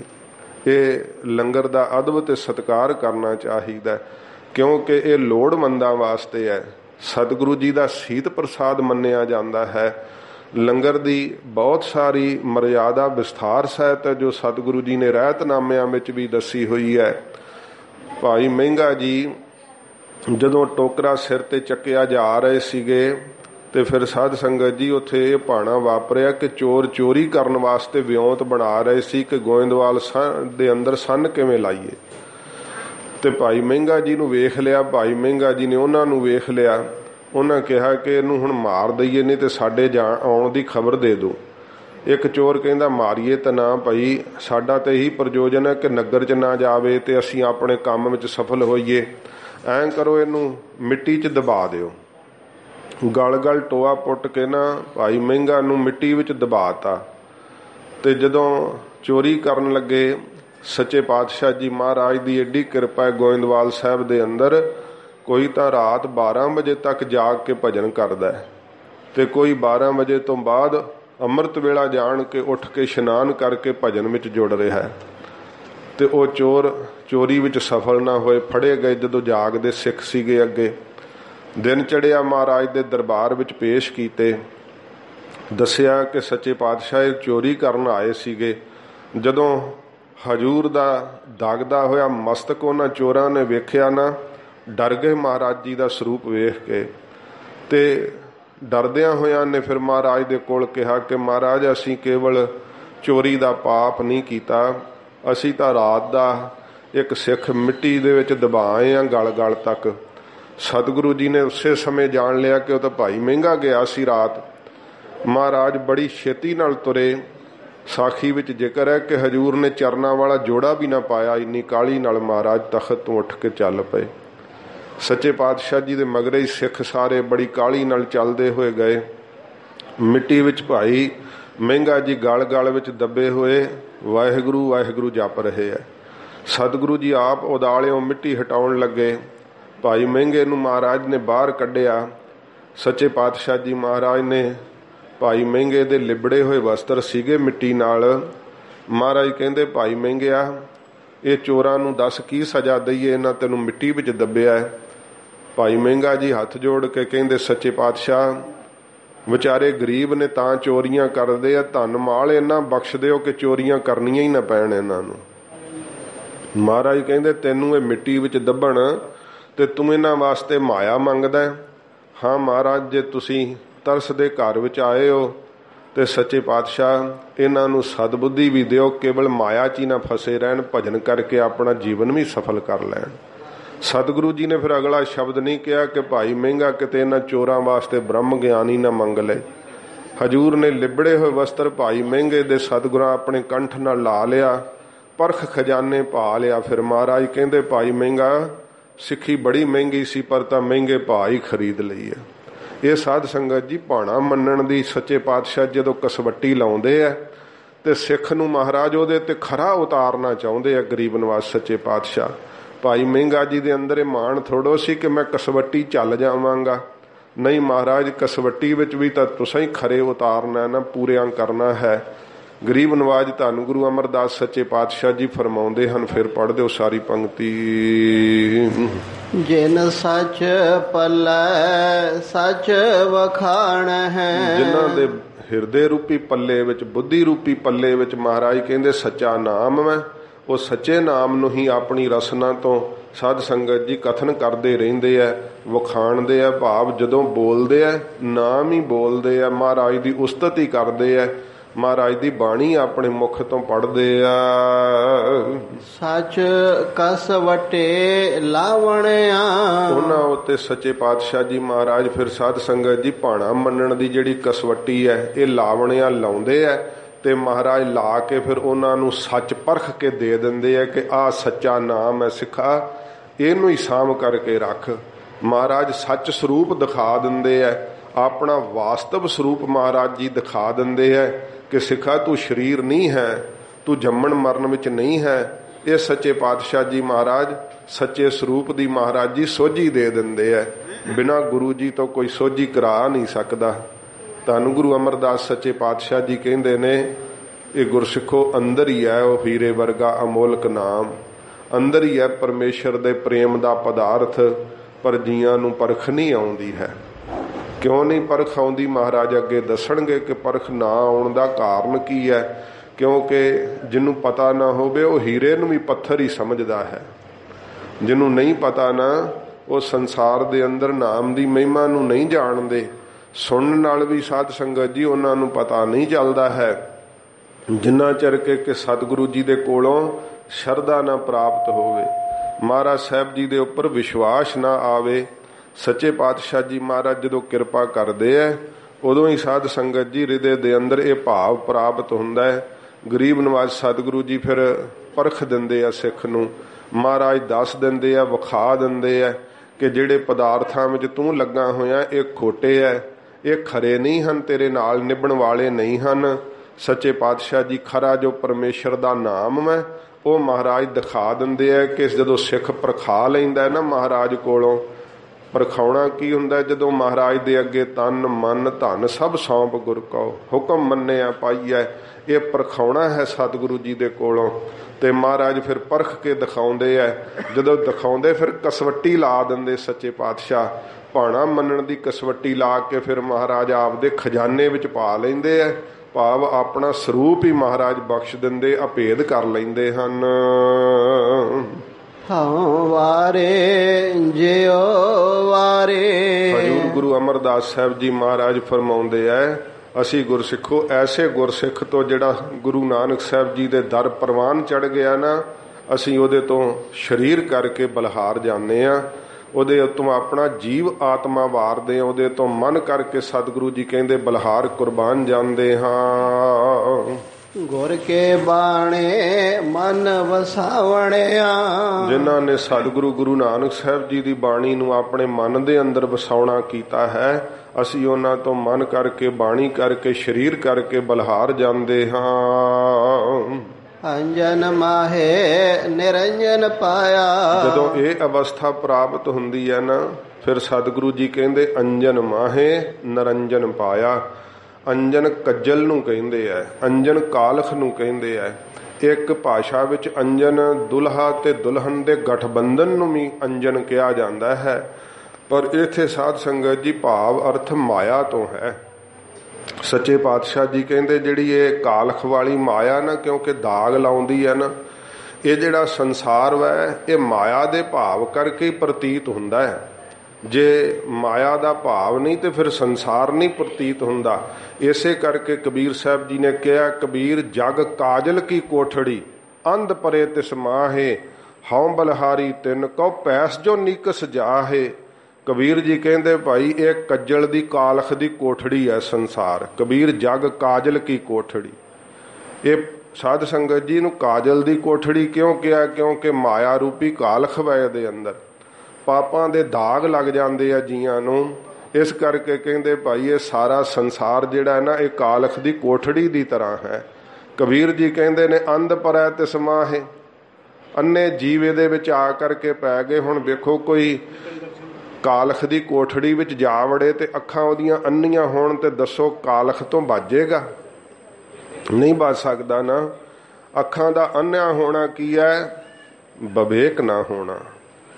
ਫਿਰ ਵੈਰਾਗ ਨਾ ਹੋਣਾ, ਇਹ ਦੋਵੇਂ ਨੇਤਰ ਨਹੀਂ ਹਨ। ਮਨ ਦੇ ਅੰਦਰ ਭਾਵ ਹੀ ਨਾ ਪ੍ਰਾਪਤ ਹੋਣਾ, ਬੁੱਧੀ ਅੰਦਰ ਨਿਰਣਾ ਹੀ ਨਾ ਕਰਨਾ, ਬਸ ਵਕਾਰ ਭੋਗਣ ਵਿੱਚ ਹੀ ਲੱਗੇ ਰਹਿਣਾ। ਮਨ ਬੁੱਧ ਰੂਪੀ ਨੇਤਰ ਨਹੀਂ ਹਨ, ਇਸ ਕਰਕੇ ਸਾਧ ਸੰਗਤ ਜੀ ਜੀਵ ਅੰਨੇ ਹੋਏ ਪਏ ਸੰਸਾਰ ਦੇ ਅੰਦਰ ਪਾਪਾਂ ਦੀ ਕਾਲਖ ਨਾਲ ਲਿਬੜ ਰਹੇ ਐ। ਕਬੀਰ ਜੀ ਕਹਿੰਦੇ, ਹਉ ਬਲਹਾਰੀ ਤਿੰਨ ਕਉ, ਮੈਂ ਉਹਨਾਂ ਤੋਂ ਬਲਹਾਰ ਕੁਰਬਾਨ ਜਾਣਾ ਪੈਸ ਜੋ ਨਿਕਸ ਜਾਹੇ ਜਿਹੜੇ ਇਸ ਜਗ ਰੂਪੀ ਕਾਲਖ ਦੀ ਕੋਠੜੀ ਵਿੱਚ ਆ ਕੇ ਪੈ ਤਾਂ ਗਏ ਐ, ਪਰ ਨਿਕਲ ਗਏ ਐ। ਮਨ ਬੁੱਧੀ ਰੂਪੀ ਨੇਤਰ ਖੋਲ ਲਏ ਉਹਨਾਂ ਨੇ। ਬੁੱਧੀ ਰੂਪੀ ਨੇਤਰ ਖੁੱਲ ਗਿਆ ਤੇ ਫਿਰ ਮਨ ਰੂਪੀ ਨੇਤਰ ਖੁੱਲ ਗਿਆ ਗੁਰੂ ਜੀ ਦੇ ਗਿਆਨ ਨੂੰ ਪ੍ਰਾਪਤ ਕਰਕੇ ਤੇ ਕੀ ਹੋਇਆ, ਇਸ ਸੰਸਾਰ ਦੇ ਅੰਦਰ ਸਾਧ ਸੰਗਤ ਜੀ ਮਾਇਆ ਦੀ ਕਾਲਖ ਤੋਂ ਉਹ ਬਚ ਗਏ। ਸੱਚੇ ਪਾਤਸ਼ਾਹ ਜੀ ਕਹਿੰਦੇ ਨੇ, ਅੰਜਨ ਮਾਹੇ, ਨਰੰਜਨ ਪਾਇਆ। ਅੰਜਨ ਕਾਲਖ ਰੂਪੀ ਮਾਇਆ ਦੇ ਅੰਦਰ ਹੀ ਉਹਨਾਂ ਨੇ ਨਿਰਅੰਜਨ ਜਿਹੜਾ ਮਾਇਆ ਦੀ ਕਾਲਖ ਤੋਂ ਰਹਿਤ ਹੈ, ਉਹ ਕੌਣ ਹੈ? ਪਰਮੇਸ਼ਰ। ਵਾਹਿਗੁਰੂ, ਉਸ ਪਰਮੇਸ਼ਰ ਨੂੰ ਉਹਨਾਂ ਨੇ ਪਾ ਲਿਆ ਹੈ। ਮਾਇਆ ਦੇ ਵਿੱਚ ਰਹਿੰਦਿਆਂ ਹੋਇਆਂ ਹੀ, ਕਿਉਂਕਿ ਨਹੀਂ ਤਾਂ ਇਹੀ ਕਿਹਾ ਜਾਂਦਾ ਸੀ ਕਿ ਗ੍ਰਸਤੀ ਗਲੀਚ ਹੁੰਦੇ ਆ ਔਰਤ ਜਿਹੜੀ ਆ ਉਹ ਮਨੁੱਖ ਨੂੰ ਅਧੋਗਤੀ ਨੂੰ ਲੈ ਜਾਂਦੀ ਹੈ ਇਸ ਤਰ੍ਹਾਂ ਦੀਆਂ ਸਾਧ ਸੰਗਤ ਜੀ ਗੱਲਾਂ ਕਹੀਆਂ ਜਾਂਦੀਆਂ ਸੀ ਤੇ ਪਦਾਰਥਾਂ ਵਿੱਚ ਜਦੋਂ ਜੀਵ ਕੋਈ ਲੱਗਾ ਹੋਇਆ ਤੇ ਸਮਝਦੇ ਸੀ ਕਿ ਇਹ ਮੁਕਤ ਨਹੀਂ ਹੋ ਸਕਦਾ, ਭਾਵੇਂ ਕਿ ਸਰੀਰ ਕਰਕੇ ਤੇ ਸਾਰੀਆਂ ਚੀਜ਼ਾਂ ਦੀ ਲੋੜ ਪੈਂਦੀ ਹੈ ਨਾ, ਸੱਚੇ ਪਾਤਸ਼ਾਹ ਜੀ ਮਹਾਰਾਜ ਨੇ ਜੁਗਤ ਦਿੱਤੀ ਆਪਣੇ ਸਿੱਖਾਂ ਨੂੰ। ਗਰੀਬ ਨਿਵਾਸ ਸੱਚੇ ਪਾਤਸ਼ਾਹ ਜੀ ਮਹਾਰਾਜ ਕਿਹਾ ਕਿ ਜਦੋਂ ਸ਼ਬਦ ਨਾਲ ਸੁਰਤ ਜੋੜੋਗੇ ਇਹ ਪਦਾਰਥਾਂ ਦਾ ਚਿੱਕੜ ਤੁਹਾਡੀ ਬਿਰਤੀ ਨੂੰ ਨਹੀਂ ਲੱਗੇਗਾ, ਸਰੀਰ ਕਰਕੇ ਭਾਵੇਂ ਜਿੰਨੇ ਮਰਜ਼ੀ ਪਦਾਰਥ ਭੋਗੋ, ਪਰ ਮਹਾਰਾਜ ਕਹਿੰਦੇ ਬਿਰਤੀ ਨੂੰ ਇਹ ਪਦਾਰਥਾਂ ਦਾ ਚਿੱਕੜ ਆ ਕੇ ਲੱਗੇਗਾ ਹੀ ਨਹੀਂ। ਸੱਚੇ ਪਾਤਸ਼ਾਹ ਜੀ ਮਹਾਰਾਜ, ਐਸੀ ਜੁਗਤ ਆਪਣੇ ਸਿੱਖਾਂ ਨੂੰ ਦਿੱਤੀ, ਮਾਇਆ ਦੇ ਵਿੱਚ ਰਹਿੰਦੇ ਹੋਏ ਹੀ ਉਹ ਮਾਇਆ ਤੋਂ ਨਿਰਲੇਪ ਹੈ, ਜਿਵੇਂ ਕਮਲ ਦਾ ਫੁੱਲ ਪਾਣੀ ਵਿੱਚ ਰਹਿੰਦਾ ਹੋਇਆ ਹੀ ਪਾਣੀ ਤੋਂ ਨਿਰਲੇਪ ਹੈ, ਚਿੱਕੜ ਤੋਂ ਨਿਰਲੇਪ ਰਹਿੰਦਾ ਹੈ। ਸੱਚੇ ਪਾਤਸ਼ਾਹ ਜੀ ਮਹਾਰਾਜ ਕਹਿੰਦੇ ਨੇ, ਜੈਸੇ ਜਲ ਮੈਂ ਕਮਲ ਨਿਰਾਲਮ, ਮੁਰਗਾਈ ਨੈਸਾਣੈ, ਸੁਰਤ ਸ਼ਬਦ ਭਵ ਸਾਗਰ ਤਰੀਐ, ਨਾਨਕ ਨਾਮ ਬਖਾਣੈ ਇਹ ਨਾਮ ਦੇ ਨਾਲ ਸੁਰਤ ਜੋੜਨ ਦੀ ਮਹਿਮਾ ਹੈ। ਮੁਰਗਾਬੀ ਖੋਬੀ ਜਿਹੜੀ ਐ, ਟੁੱਬੀ ਮਾਰਦੀ ਹੈ ਪਾਣੀ ਵਿੱਚ। ਪਾਣੀ ਵਿੱਚ ਟੁੱਬੀ ਮਾਰਦੀ ਹੈ ਨਾਲ ਹੀ ਉੱਡ ਜਾਂਦੀ ਹੈ ਫਿਰ ਉਹਦੇ ਖੰਭ ਗਿੱਲੇ ਹੁੰਦੇ ਹੀ ਨਹੀਂ। ਆਕਾਸ਼ ਵਿੱਚ ਵੀ ਉਡਾਰੀ ਭਰਦੀ ਹੈ ਪਾਣੀ ਵਿੱਚ ਵੀ ਟੁੱਬੀ ਮਾਰਦੀ ਹੈ ਗੁਰਸਿੱਖ ਗ੍ਰਸਤੀ ਹੈ, ਸੰਸਾਰ ਦੇ ਵਿਹਾਰ ਕਰਦੇ ਆ ਕਿਰਤ ਕਰਦੇ ਆ ਮਾਇਆ ਪਦਾਰਥ ਬਹੁਤ ਹੈ ਕੋਲ, ਇਹ ਟੁੱਬੀ ਵੱਜੀ ਪਈ ਹੈ ਪਾਣੀ 'ਚ। ਤੇ ਜਦੋਂ ਇਹੋ ਜੀ ਟੁੱਬੀ ਕਿਸੇ ਦੀ ਵਾਜੀ ਹੋਵੇ, ਉਹਦੇ ਬਿਰਤੀ ਰੂਪੀ ਖੰਭ ਗਿੱਲੇ ਹੋ ਜਾਂਦੇ, ਉਹ ਫਿਰ ਉੱਪਰ ਉਡਾਰੀ ਕਿਵੇਂ ਭਰ ਸਕਦਾ ਹੈ? ਪਰ ਸਾਧ ਸੰਗਤ ਜੀ, ਜਿਨ੍ਹਾਂ ਦੀ ਸੁਰਤ ਨਾਮ ਵਿੱਚ ਲੱਗਦੀ ਹੈ ਨਾ, ਉਹ ਅੰਮ੍ਰਿਤ ਵੇਲੇ ਸਭ ਪਦਾਰਥਾਂ ਦੇ ਸਲਾਬ ਨੂੰ ਛੱਡ ਕੇ ਉੱਚੀ ਉਡਾਰੀ ਭਰ ਲੈਂਦੇ ਆ, ਨਾਮ ਵਿੱਚ ਸੁਰਤ ਜੋੜ ਬੈਠਦੇ ਆ। ਫਿਰ ਉਹਨਾਂ ਨੂੰ ਸ਼ਰੀਰਾਂ ਦਾ ਮੋਹ ਨਹੀਂ ਉਦੋਂ ਤੰਗ ਕਰ ਰਿਹਾ ਹੁੰਦਾ। ਇਕੱਠੀ ਕੀਤੀ ਹੋਈ ਮਾਇਆ ਦੇ ਸੰਕਲਪ ਨਹੀਂ ਉਹਨਾਂ ਨੂੰ ਆ ਰਹੇ ਹੁੰਦੇ। ਉਹ ਅੰਮ੍ਰਿਤ ਵੇਲੇ ਵਾਹਿਗੁਰੂ ਦੇ ਭਜਨ ਵਿੱਚ ਉੱਚੀਆਂ ਉਡਾਰੀਆਂ ਭਰਦੇ ਆ ਆਪਣੇ ਆਤਮਾ ਦੇ ਰਸ ਨੂੰ ਮਾਣਦੇ ਆ ਇਹ ਸੱਚੇ ਪਾਤਸ਼ਾਹ ਜੀ ਮਹਾਰਾਜ ਇਸ ਪੰਕਤੀ ਦੇ ਅੰਦਰ ਜੁਗਤ ਦੱਸੀ ਹੈ ਅੰਜਨ ਮਾਹੇ, ਨਰੰਜਨ ਪਾਇਆ। ਮਾਇਆ ਦੀ ਕਾਲਖ ਦੇ ਵਿੱਚ ਰਹਿੰਦਿਆਂ ਹੋਇਆਂ ਹੀ ਮਾਇਆ ਦੀ ਕਾਲਖ ਤੋਂ ਰਹਿਤ ਜੋ ਪਰਮੇਸ਼ਰ ਵੈ ਨਾ ਉਹਨੂੰ ਗੁਰਸਿੱਖਾਂ ਨੇ ਪਾ ਲਿਆ ਹੈ। ਜਿਵੇਂ ਮਹਾਰਾਜ ਕਹਿੰਦੇ, ਮੁਰਗਾਬੀ ਦੀ ਜੁਗਤ ਵੈ। ਜਿਵੇਂ ਕਮਲ ਦੀ ਜੁਗਤ ਵੈ। ਇਵੇਂ ਗੁਰਸਿੱਖਾਂ ਨੇ ਸ਼ਬਦ ਵਿੱਚ ਆਪਣੀ ਸੁਰਤ ਨੂੰ ਜੋੜਿਆ ਤੇ ਮਾਇਆ ਤੋਂ, ਮਾਇਆ ਵਿੱਚ ਰਹਿੰਦੇ ਹੋਏ ਮਾਇਆ ਤੋਂ ਨਿਰਲੇਪ ਹੋ ਗਏ ਐ ਪਰਮੇਸ਼ਰ ਨੂੰ ਪਾ ਕੇ ਨਿਹਾਲ ਹੋਏ ਆ। ਜੋਤੇ ਜੋਤ ਮਿਲਾਵਣਿਆ। ਮੇਰੇ ਵਾਹਿਗੁਰੂ ਨੇ ਉਹਨਾਂ ਦੀ ਪਰਤਕ ਜੋਤ ਨੂੰ ਆਪਣੀ ਪਰਮ ਜੋਤ ਦੇ ਅੰਦਰ ਮਿਲਾ ਬਣਿਆ ਮੇਲ ਲਿਆ ਹੈ। ਰਹਾਓ। ਵਿਸ਼ਰਾਮ ਦੇ ਕੇ ਸੱਚੇ ਪਾਤਸ਼ਾਹ ਜੀ ਮਹਾਰਾਜ ਫਰਮਾਉਂਦੇ ਹਨ। ਇਸ ਕਾਇਆ ਅੰਦਰ ਬਹੁਤ ਪਸਾਰਾ। ਸਾਧ ਸੰਗਤ ਜੀ ਇਸ ਕਾਇਆ ਦੇ ਅੰਦਰ ਨਾ ਸੱਚੇ ਪਾਤਸ਼ਾਹ ਜੀ ਕਹਿੰਦੇ ਬਹੁਤ ਸਾਰਾ ਪਸਾਰਾ ਹੈ। ਜਿੰਨਾ ਸਾਨੂੰ ਬਾਹਰ ਪਸਾਰਾ ਦਿਸਦਾ ਹੈ, ਇਹਦਾ ਕੋਈ ਅੰਤ ਹੈ ਕੋਈ ਸਾਧ ਸੰਗਤ ਜੀ ਇਸ ਧਰਤੀ ਦਾ ਹੀ ਨਹੀਂ ਓੜਕ ਪਾ ਸਕਿਆ। ਤੇ ਕੀ ਪਤਾਲਾਂ ਦਾ ਅੰਤ ਹੈ, ਕੀ ਆਕਾਸ਼ਾਂ ਦਾ ਅੰਤ ਹੈ ਇਵੇਂ ਮਹਾਰਾਜ ਕਹਿੰਦੇ, ਜੋ ਬਾਹਰ ਪਸਾਰਾ ਨਾ, ਉਹ ਸਾਰਾ ਪਸਾਰਾ ਇਸ ਦੇਹ ਦੇ ਅੰਦਰ ਹੈ। ਜੋ ਬ੍ਰਹਮੰਡੇ, ਸੋਈ ਪਿੰਡੇ। ਜੋ ਖੋਜੈ, ਸੋ ਪਾਵੈ। ਇਸ ਕਾਇਆ ਅੰਦਰ ਇਸ ਸਰੀਰ ਦੇ ਅੰਦਰ ਸੱਚੇ ਪਾਤਸ਼ਾਹ ਜੀ ਮਹਾਰਾਜ ਕਹਿੰਦੇ ਭਾਈ ਬਹੁਤ ਸਾਰਾ ਪਸਾਰਾ ਹੈ ਸਾਰੀ ਕਾਇਨਾਤ ਦਾ ਹੀ ਪਸਾਰਾ ਇਸ ਦੇਹ ਦੇ ਅੰਦਰ ਵਾਹਿਗੁਰੂ ਨੇ ਬਣਾਇਆ ਹੋਇਆ ਹੈ ਰੱਖਿਆ ਹੋਇਆ ਹੈ। ਨਾਮ ਨਿਰੰਜਨ ਅਤ ਅਗਮ ਅਪਾਰਾ। ਪਰ ਸਤਿਗੁਰੂ ਜੀ ਕਹਿੰਦੇ ਜਿਹੜਾ ਮਾਇਆ ਦੀ ਕਾਲਖ ਤੋਂ ਰਹਿਤ ਪਰਮੇਸ਼ਰ ਦਾ ਸੁੱਧ ਨਾਮ ਹੈ ਨਾ ਉਹ ਗਰੀਬ ਨਵਾਜ ਕਹਿੰਦੇ ਅਤਸ਼ਾ ਕਰਕੇ ਮਨ ਦੀ ਗਮਤਾ ਤੋਂ ਪਰੇ ਆ ਗੁਰਸਿੱਖੋ। ਤੇ ਉਹਦਾ ਪਾਰਾ ਵਾਰ ਨਹੀਂ ਪਾਇਆ ਜਾ ਸਕਦਾ, ਉਹ ਪ੍ਰਕਿਰਤੀ ਤੋਂ ਪਰੇ ਹੈ। ਦੇਹ ਦੇ ਅੰਦਰ ਬਹੁਤ ਸਾਰਾ ਪਸਾਰਾ ਹੈ। ਹੁਣ ਇਸ ਧਰਤੀ ਦੇ ਉੱਤੇ ਜੋ ਕੁਝ ਸਾਨੂੰ ਦਿਸਦਾ ਹੈ, ਜੋ ਸਾਧ ਸੰਗਤ ਜੀ ਇਹ ਪੰਜ ਤੱਤਵ ਹੈ ਨਾ, ਪੰਜਾਂ ਤੱਤਾਂ ਤੋਂ ਬਣੀ ਹੋਈ ਇਹ ਸਾਰੀ ਕਾਇਨਾਤ, ਸੱਚੇ ਪਾਤਸ਼ਾਹ ਜੀ ਮਹਾਰਾਜ ਕਹਿੰਦੇ ਨੇ ਉਹ ਸਾਰਾ ਪਸਾਰਾ ਇਸ ਦੇਹ ਦੇ ਅੰਦਰ ਵਾਹਿਗੁਰੂ ਨੇ ਪਸਾਰਿਆ ਹੋਇਆ ਹੈ, ਪਰ ਜਿਹੜਾ ਸੁੱਧ ਨਾਮ ਹੈ ਨਾ ਪਰਮੇਸ਼ਰ ਦਾ ਉਹਦੇ ਤੇ ਮਨ ਦੀ ਗਮਤਾ ਦੀ ਪਹੁੰਚ ਨਹੀਂ ਹੈ। ਮਨ ਤੋਂ ਵੀ ਅਗਮ ਹੈ ਤੇ ਉਹਦਾ ਮਹਾਰਾਜ ਕਹਿੰਦੇ ਕੋਈ ਪਾਰਾਵਾਰ ਜਿਹੜਾ ਹੈ ਨਾ ਉਹ ਨਹੀਂ ਪਾਇਆ ਜਾ ਸਕਦਾ ਕੋਈ ਅੰਤ ਨਹੀਂ ਜਾਣਿਆ ਜਾ ਸਕਦਾ।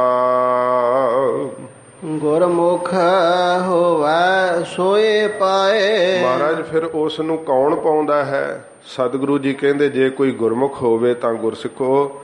ਗੁਰੂ ਜੀ ਤੋਂ ਮੁਖੀ ਗੁਰੂ ਜੀ ਤੋਂ ਉਪਦੇਸ਼ ਲੈ ਕਰਕੇ ਉਸ ਸੁੱਧ ਨਾਮ ਨੂੰ ਉਹ ਪ੍ਰਾਪਤ ਕਰਦੇ ਏਡੇ ਵੱਡੇ ਪਸਾਰੇ ਦੇ ਵਿੱਚੋਂ। ਕਾਇਆ ਦੇ ਅੰਦਰ ਬਹੁਤ ਸਾਰਾ ਪਸਾਰਾ ਹੈ ਤੇ ਇਸ ਪਸਾਰੇ ਵਿੱਚ ਹੀ ਜੀਵ ਪਸਰੇ ਰਹਿੰਦੇ ਆ। ਕੋਈ ਕੁਛ ਸਾਧ ਸੰਗਤ ਜੀ ਸੌਦੇ ਨੂੰ ਖਰੀਦਦਾ ਕੋਈ ਕਿਸੇ ਸੌਦੇ ਨੂੰ ਖਰੀਦਦਾ ਹੈ। ਸੱਚੇ ਪਾਤਸ਼ਾਹ ਜੀ ਮਹਾਰਾਜ ਨੇ ਕਿਹਾ ਨਾ ਕਿ ਕਿ ਇਸ ਸਰੀਰ ਦੇ ਅੰਦਰ ਨਾਨਕ ਹੱਟ ਪੱਟਣ ਵਿੱਚ ਕਾਇਆ ਇਸ ਕਾਇਆ ਦੇ ਅੰਦਰ ਬੜੇ ਬੜੇ ਬਾਜ਼ਾਰ ਲੱਗੇ ਹੋਏ ਆ, ਵਿੱਚ ਗੁਰਮੁਖ ਲ- ਲੈਂਦੇ ਸੌਦਾ ਜੀਓ।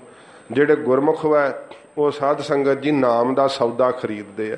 ਮੁਖੀ ਗੁਰੂ ਜੀ ਤੋਂ ਉਪਦੇਸ਼ ਲੈ ਕਰਕੇ ਆਪਣੀ ਕਾਇਆ ਨੂੰ ਖੋਜਦੇ ਆ ਤੇ ਉਹਨਾਂ ਨੂੰ ਸਰੀਰ ਦੇ ਅੰਦਰੋਂ ਹੀ ਉਹ ਨਾਮ ਸੁੱਧ ਲੱਭ ਪੈਂਦਾ ਜਿਹਦੇ ਤੱਕ ਮਨ ਦੀ ਗਮਤਾ ਹੀ ਹੈ ਨਹੀਂ। ਮਹਾਰਾਜ ਪਹੁੰਚ ਕਰਾ ਦਿੰਦੇ ਉੱਥੇ ਤੱਕ। ਉੱਥੇ ਹੱਥ ਸਤਿਗੁਰੂ ਪਵਾਉਂਦੇ ਆ ਤੇ ਜਿਹਦਾ ਕੋਈ ਅੰਤ ਨਹੀਂ, ਪਾਰਾਵਾਰ ਨਹੀਂ ਜਾਣਿਆ ਜਾ ਸਕਦਾ। ਉਸ ਪਰਮੇਸ਼ਰ ਦੇ ਸਰੂਪ ਦਾ ਅਨੁਭਵ ਸੱਚੇ ਪਾਤਸ਼ਾਹ ਜੀ ਮਹਾਰਾਜ ਕਰਾਉਂਦੇ ਆ ਹਜੂਰ ਕਹਿੰਦੇ ਕੋਈ ਗੁਰਮੁਖ ਹੋਵੇ ਤੇ ਤਾਂ ਹੀ ਪਾਏ ਨਾ।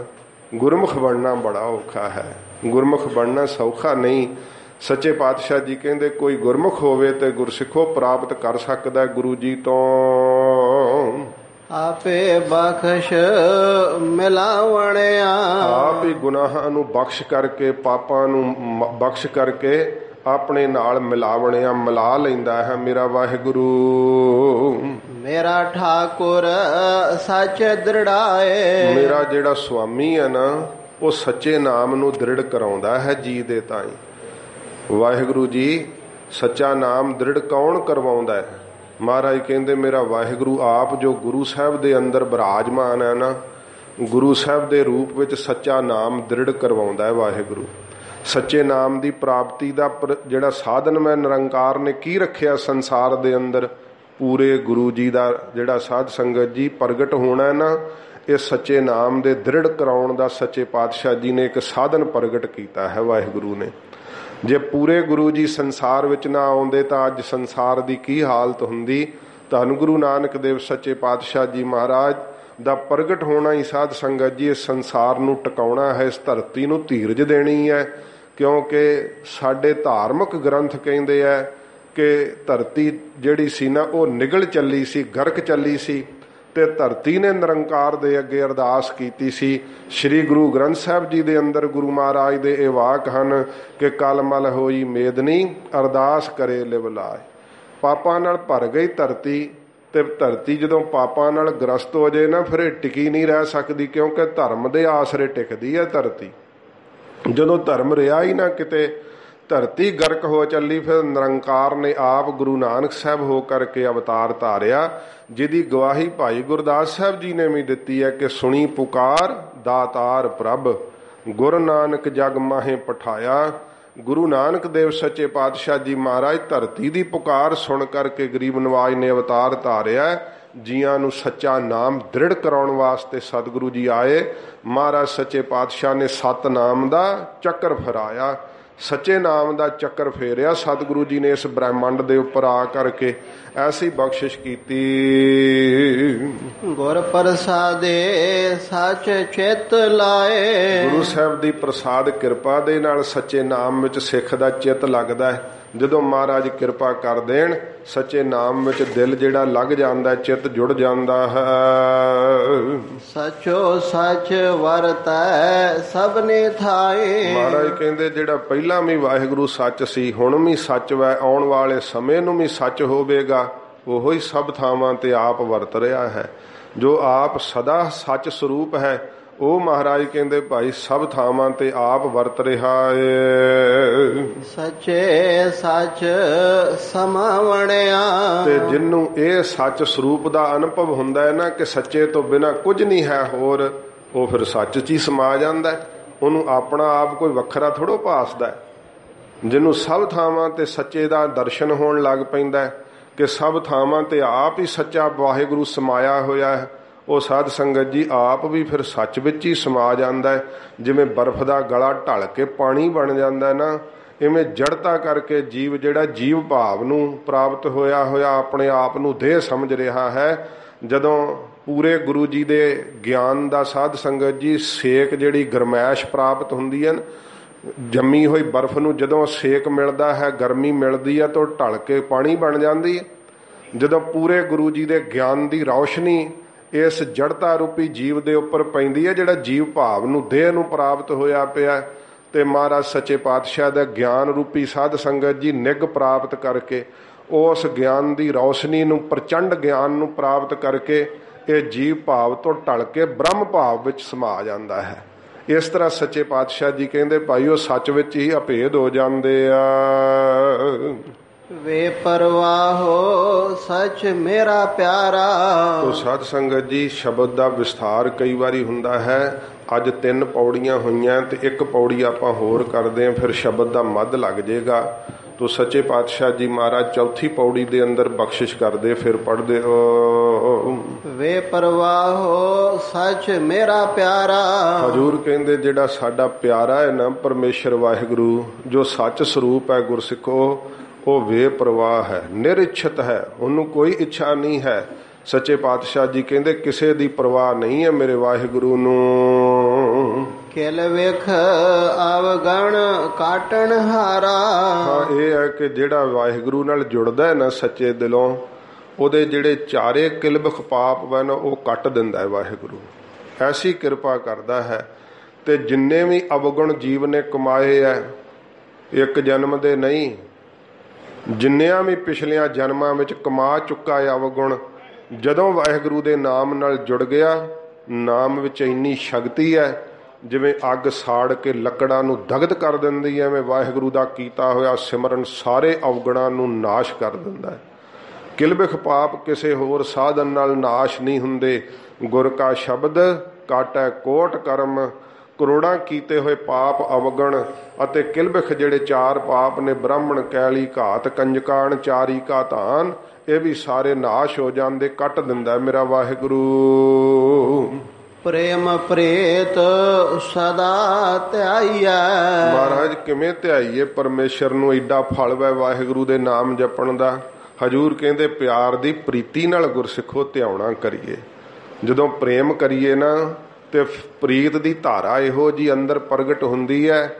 ਉਸ ਪ੍ਰੀਤ ਦੀ ਧਾਰਾ ਵਿੱਚ ਜਿਵੇਂ ਸਾਧ ਸੰਗਤ ਜੀ ਨਦੀ ਸਭ ਕੁਝ ਹੀ ਵਹਾ ਕੇ ਲੈ ਜਾਂਦੀ ਹੈ ਨਾ, ਚਾਹੇ ਉਹਦੇ ਵਿੱਚ ਕੋਈ ਰੁੱਖ ਡਿੱਗ ਜਾਵੇ, ਚਾਹੇ ਕੋਈ ਚੀਜ਼ ਸਿੱਟ ਦੇਵੇ, ਸਭ ਵਹਾ ਦਿੰਦੀ ਹੈ। ਨਦੀ ਦੀ ਤੁਗਿਆਨੀ ਇੰਨੀ ਤੇਜ਼ ਹੁੰਦੀ ਹੈ। ਜਦੋਂ ਪ੍ਰੇਮ ਦਾ ਪ੍ਰਵਾਹ ਇੰਨੀ ਤੇਜ਼ ਅੰਦਰ ਚੱਲ ਪਵੇ ਨਾ, ਸੱਚੇ ਪਾਤਸ਼ਾਹ ਜੀ ਮਹਾਰਾਜ ਕਹਿੰਦੇ ਸਭ ਸੰਕਲਪਾਂ ਵਿਕਲਪਾਂ ਦੇ ਕੱਖ ਰੁੜ ਜਾਂਦੇ ਆ ਵਿਸ਼ਿਆਂ ਵਕਾਰਾਂ ਦੇ ਉੱਗੇ ਹੋਏ ਅੰਦਰ ਰੁੱਖ ਵੀ ਨਾਲ ਹੀ ਪੱਟ ਜਾਂਦੀ ਆ ਜੜਾਂ ਤੋਂ ਨਦੀ। ਤੇ ਟਿੱਗਾਂ ਡਿੱਗਦੀਆਂ ਨਾ, ਇਉਂ ਮਹਾਰਾਜ ਕਹਿੰਦੇ ਰਾਗ ਤੇ ਦਵੈਖ ਦੇ ਕੰਡੇ ਵੀ ਡਿੱਗ ਜਾਣਗੇ ਫਿਰ। ਨਾ ਅੰਦਰ ਰਾਗ ਰਹੇਗਾ ਅਕਾਰਨ ਕਿਸੇ ਨਾਲ ਮੋਹ ਕਰਨਾ, ਨਾ ਕਿਸੇ ਨਾਲ ਅਕਾਰਨ ਈਰਖਾ ਕਰਨ ਰੂਪੀਏ ਦੋਵੇਂ ਕੰਡੇ ਵੀ ਢਾ ਦੇਣੇ ਆ ਪ੍ਰੇਮ ਦੇ ਵੇਗ ਨੇ। ਤੇ ਉਹ ਜਦੋਂ ਕੰਡੇ ਹੀ ਢਹਿ ਗਏ, ਰਾਗ ਦਵੈਖ ਕਰਕੇ ਹੀ ਸਾਧ ਸੰਗਤ ਜੀ ਵਕਾਰਾਂ ਰੂਪੀ ਰੁੱਖ ਉੱਗੇ ਰਹਿੰਦੇ ਆ। ਤੇ ਫਿਰ ਸਮੇਤ ਰੁੱਖਾਂ ਦੇ ਜਦੋਂ ਢਿੱਗਾਂ ਡਿੱਗਦੀਆਂ ਨਦੀ ਵਹਾ ਦਿੰਦੀ ਹੈ ਐਵੇਂ ਸੱਚੇ ਪਾਤਸ਼ਾਹ ਜੀ ਦੇ ਪ੍ਰੇਮ ਦੇ ਵੇਗ ਵਿੱਚ ਸਭ ਵਿਸ਼ੇ ਵਕਾਰ ਰੁੜ ਜਾਂਦੇ ਆ ਅੰਦਰ ਸੁੱਧ ਹੋ ਜਾਂਦਾ ਹੈ। ਮਹਾਰਾਜ ਕਹਿੰਦੇ ਪਿਆਰ ਦੀ ਪ੍ਰੀਤੀ ਨਾਲ ਗੁਰਸਿੱਖੋ ਵਾਹਿਗੁਰੂ ਨੂੰ ਧਿਆਉਣਾ ਕਰੀਏ ਚੇਤੇ ਕਰਨਾ ਕਰੀਏ। ਭੈ ਭਾਏ ਭਗਤ ਦ੍ਰਿੜਾ ਬਣਿਆ ਜਦੋਂ ਪ੍ਰੇਮਾ ਭਗਤੀ ਮਹਾਰਾਜ ਦ੍ਰਿੜ ਕਰਾਉਂਦੇ ਆ ਨਾ ਉਹ ਸਭ ਤੋਂ ਪਹਿਲਾਂ ਕੀ ਦਿੰਦੇ ਆ ਦਾਤ? ਮਹਾਰਾਜ ਭੈ ਨੂੰ ਦ੍ਰਿੜ ਕਰਾਉਂਦੇ ਆ ਪਹਿਲਾਂ।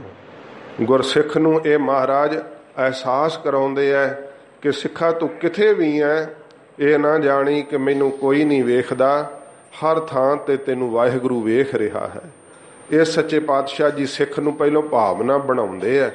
ਸਿੱਖ ਦੀ ਇਹ ਭਾਵਨਾ ਵੱਜ ਜਾਂਦੀ ਹੈ ਜਦੋਂ ਫਿਰ ਮਹਾਰਾਜ ਪ੍ਰੇਮਾ ਭਗਤੀ ਦ੍ਰਿੜ ਕਰਾ ਦਿੰਦੇ ਸੱਚੇ ਪਾਤਸ਼ਾਹ। ਕਿਉਂਕਿ ਵਾਹਿਗੁਰੂ ਨੂੰ ਜਦੋਂ ਉਹ ਮਹਿਸੂਸ ਕਰਦਾ ਹੈ ਸਿੱਖ ਕਿ ਮੈਨੂੰ ਪਰਮੇਸ਼ਰ ਹਰ ਥਾਂ ਤੇ ਵੇਖ ਰਿਹਾ ਹੈ, ਫਿਰ ਸਾਧ ਸੰਗਤ ਜੀ ਉਹਦਾ ਹਿਰਦਾ ਸੁੱਧ ਹੋ ਜਾਂਦਾ ਹੈ। ਸੁੱਧ ਹਿਰਦੇ ਦੇ ਅੰਦਰ ਹੀ ਨਾਮ ਦੀ ਵਸਤੂ ਟਿਕਦੀ ਹੈ।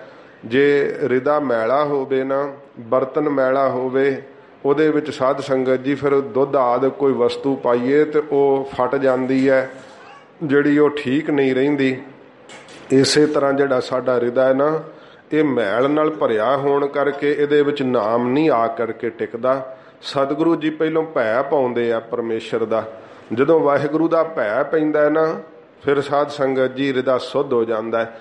ਵੇਖੋ ਜਦੋਂ ਵਕਾਰਾਂ ਦੀ ਭਾਵਨਾ ਆਉਂਦੀ ਹੈ, ਮਨ ਦੇ ਅੰਦਰ ਵਾਸ਼ਨਾ ਗੇੜੇ ਲਾਉਂਦੀ ਹੈ, ਫੁਰਨੇ ਗੰਦੇ ਆਉਂਦੇ ਆ ਤੇ ਜਦੋਂ ਇਹ ਖਿਆਲ ਹੋਵੇ ਕਿ ਮੈਨੂੰ ਗੁਰੂ ਗੋਬਿੰਦ ਸਿੰਘ ਸਾਹਿਬ ਜੀ ਵੇਖ ਰਹੇ ਆ ਉਸੇ ਵੇਲੇ ਚਿੱਤ ਨਿਰਮਲ ਹੋ ਜਾਏਗਾ।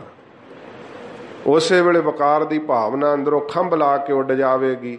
ਭਾਈ ਜੋਗਾ ਸਿੰਘ ਜੀ ਨੂੰ ਜਦੋਂ ਪਤਾ ਲੱਗਾ ਸੀਗਾ ਕਿ ਪਹਿਰਾ ਗੁਰੂ ਗੋਬਿੰਦ ਸਿੰਘ ਸਾਹਿਬ ਨੇ ਖੁਦ ਦਿੱਤਾ ਹੈ ਆਪ, ਤੇ ਭਾਈ ਜੋਗਾ ਸਿੰਘ ਜੀ ਬਰਾਗ ਕਰੀ ਜਾਂਦੇ ਸੀ ਮਹਾਰਾਜ ਦੇ ਸਾਹਮਣੇ ਖਲੋਤੇ ਹੋਏ। ਸੱਚੇ ਪਾਤਸ਼ਾਹ ਜੀ ਮਹਾਰਾਜ ਨੇ ਪਾਪਾਂ ਦੀ ਅੱਗ ਵਿੱਚ ਸਿੱਖ ਨੂੰ ਨਹੀਂ ਗਰਕਣ ਦਿੱਤਾ, ਗਰੀਬ ਨਵਾਜ ਨੇ। ਆਪ ਪਹਿਰਾ ਲਾਇਆ ਸਤਿਗੁਰੂ ਜੀ ਨੇ। ਤੇ ਜਦੋਂ ਇਹ ਸਾਨੂੰ ਭਾਵਨਾ ਬਣ ਜਾਵੇ ਨਾ ਕਿ ਮਹਾਰਾਜ ਵੇਖਦੇ ਆ, ਉਦੋਂ ਸਤਿਗੁਰੂ ਜੀ ਤੋਂ ਡਰ ਲੱਗਣ ਲੱਗ ਜਾਂਦਾ ਨਾ ਮਨਾ, ਇਹ ਕਰਮ ਨਹੀਂ ਤੂੰ ਸੋਚਣਾ। ਮਨ ਵਿੱਚ ਫੁਰਨਾ ਤੱਕ ਨਹੀਂ ਮਾੜਾ ਆਉਂਦਾ ਫਿਰ। ਬਾਹਰੋਂ ਹੱਥਾਂ ਨਾਲ ਕਰਨਾ ਤਾਂ ਫਿਰ ਸਾਧ ਸੰਗਤ ਜੀ ਦੂਰ ਰਹਿ ਗਿਆ।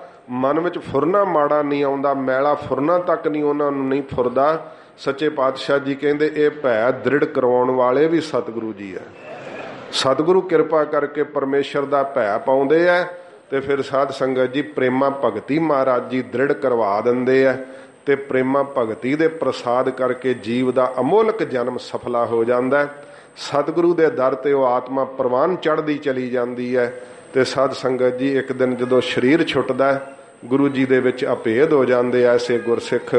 ਇਹ ਚਾਰ ਪੌੜੀਆਂ ਅੱਜ ਸਾਧ ਸੰਗਤ ਜੀ ਹੋਈਆਂ। ਮਹੱਲੇ ਦਾ ਪੁਰਬ ਹੋਣ ਕਰਕੇ ਕਿਉਂਕਿ ਹੋਲੇ ਮਹੱਲੇ ਦੇ ਉਤਸ਼ਾਹ ਵਿੱਚ ਸੰਗਤਾਂ ਆਈਆਂ ਨੇ ਤੇ ਕੱਲ ਨੂੰ ਵੀ ਥੋੜੀ ਕਥਾ ਹੋਲੇ ਮਹੱਲੇ ਦੇ ਸੰਬੰਧ ਵਿੱਚ ਹੋਵੇਗੀ। ਇਸ ਕਰਕੇ ਸ਼ਬਦ ਦੇ ਮੱਧ ਤੱਕ ਅੱਜ ਕਿਉਂਕਿ 8 ਪੌੜੀਆਂ, ਇਸ ਕਰਕੇ ਚਾਰ ਪੌੜੀਆਂ ਮਹਾਰਾਜ ਨੇ ਸੰਪੂਰਨ ਕਰਾਈਆਂ। ਬਾਕੀ ਸ਼ੇਸ਼ ਚਾਰ ਪੌੜੀਆਂ ਦੀ ਕਥਾ ਆਪਾਂ ਕੱਲ ਨੂੰ ਸਰਵਣ ਕਰਾਂਗੇ। ਇਹੀ ਜਿਹੜਾ ਵਿਸ਼ੇਸ਼ ਪ੍ਰਕਰਨ ਆਪਣੇ ਮਨ ਦੇ ਅੰਦਰ ਰੱਖਣਾ ਕਿ ਸੱਚੇ ਪਾਤਸ਼ਾਹ ਜੀ ਤੋਂ ਸਿੱਖਾਂ ਨੇ ਪੁੱਛਿਆ ਸੀ ਮਹਾਰਾਜ ਇਸ ਮਾਇਆ ਵਾਲੇ ਸੰਸਾਰ ਵਿੱਚ ਵਾਹਿਗੁਰੂ ਜੀ ਕਿਵੇਂ ਪ੍ਰਾਪਤ ਹੋ ਜਾਂਦੇ ਆ ਤੇ ਮਾਇਆ ਕਿਉਂ ਨਹੀਂ ਚਿੰਬੜਦੀ ਉਹਨਾਂ ਨੂੰ? ਇਹ ਸਤਿਗੁਰੂ ਜੀ ਕਿਰਪਾ ਕਰਕੇ ਦੱਸ ਰਹੇ ਆ ਤੇ ਜੇ ਸਾਧ ਸੰਗਤ ਜੀ ਨਹੀਂ ਮਿਲਦੇ ਪਰਮੇਸ਼ਰ ਦੇ ਸਰੂਪ ਦੇ ਜਿਹੜੇ ਹਨ ਸਪਰਸ, ਮਹਾਰਾਜ ਜੀ ਦਾ ਜਿਹੜਾ ਆਨੰਦ ਨਹੀਂ ਪ੍ਰਾਪਤ ਹੁੰਦਾ, ਉਹਦਾ ਕਾਰਨ ਕੀ ਹੈ? ਸੱਚੇ ਪਾਤਸ਼ਾਹ ਜੀ ਉਹ ਵੀ ਦੱਸਣਗੇ। ਜਿਹੜੇ ਪਾ ਲੈਂਦੇ ਉਹਨਾਂ ਦਾ ਜ਼ਿਕਰ ਸਤਿਗੁਰਾਂ ਜੀ ਨੇ ਇਸ ਪੌੜੀਆਂ ਦੇ ਅੰਦਰ ਕੀਤਾ ਤੇ ਪਾਉਂਦੇ ਕਿਵੇਂ ਆ? ਸਾਧ ਸੰਗਤ ਜੀਓ, ਆਪ ਜੀ ਨੇ ਸਰਵਣ ਕੀਤਾ ਹੈ। ਸੱਚੇ ਪਾਤਸ਼ਾਹ ਜੀ ਮਹਾਰਾਜ ਰਹਿਮਤ ਕਰਨ ਹਜੂਰ ਦਾ ਅੰਮ੍ਰਿਤ ਪ੍ਰਦੇਸ਼ ਹਿਰਦੇ ਚ ਵਸੇ। ਹੋਈਆਂ ਭੁੱਲਾਂ ਬਖਸ਼ ਲੈਣੀਆਂ ਜੀ। ਵੇ ਪਰਵਾਹੋ, ਸੱਚ ਮੇਰਾ ਪਿਆਰਾ। ਕਿਲ ਵਿਖ ਅਵਗਣ, ਕਾਟਣ ਹਾਰਾ। ਪ੍ਰੇਮ ਪ੍ਰੇਤ ਸਦਾ ਧਿਆਈਐ ਪੈ ਭਾਏ ਭਗਤ ਦ੍ਰਿੜਾਵਣਿਆ। ਵਾਹਿਗੁਰੂ ਜੀ ਕਾ ਖਾਲਸਾ ਵਾਹਿਗੁਰੂ ਜੀ ਕੀ ਫਤਿਹ।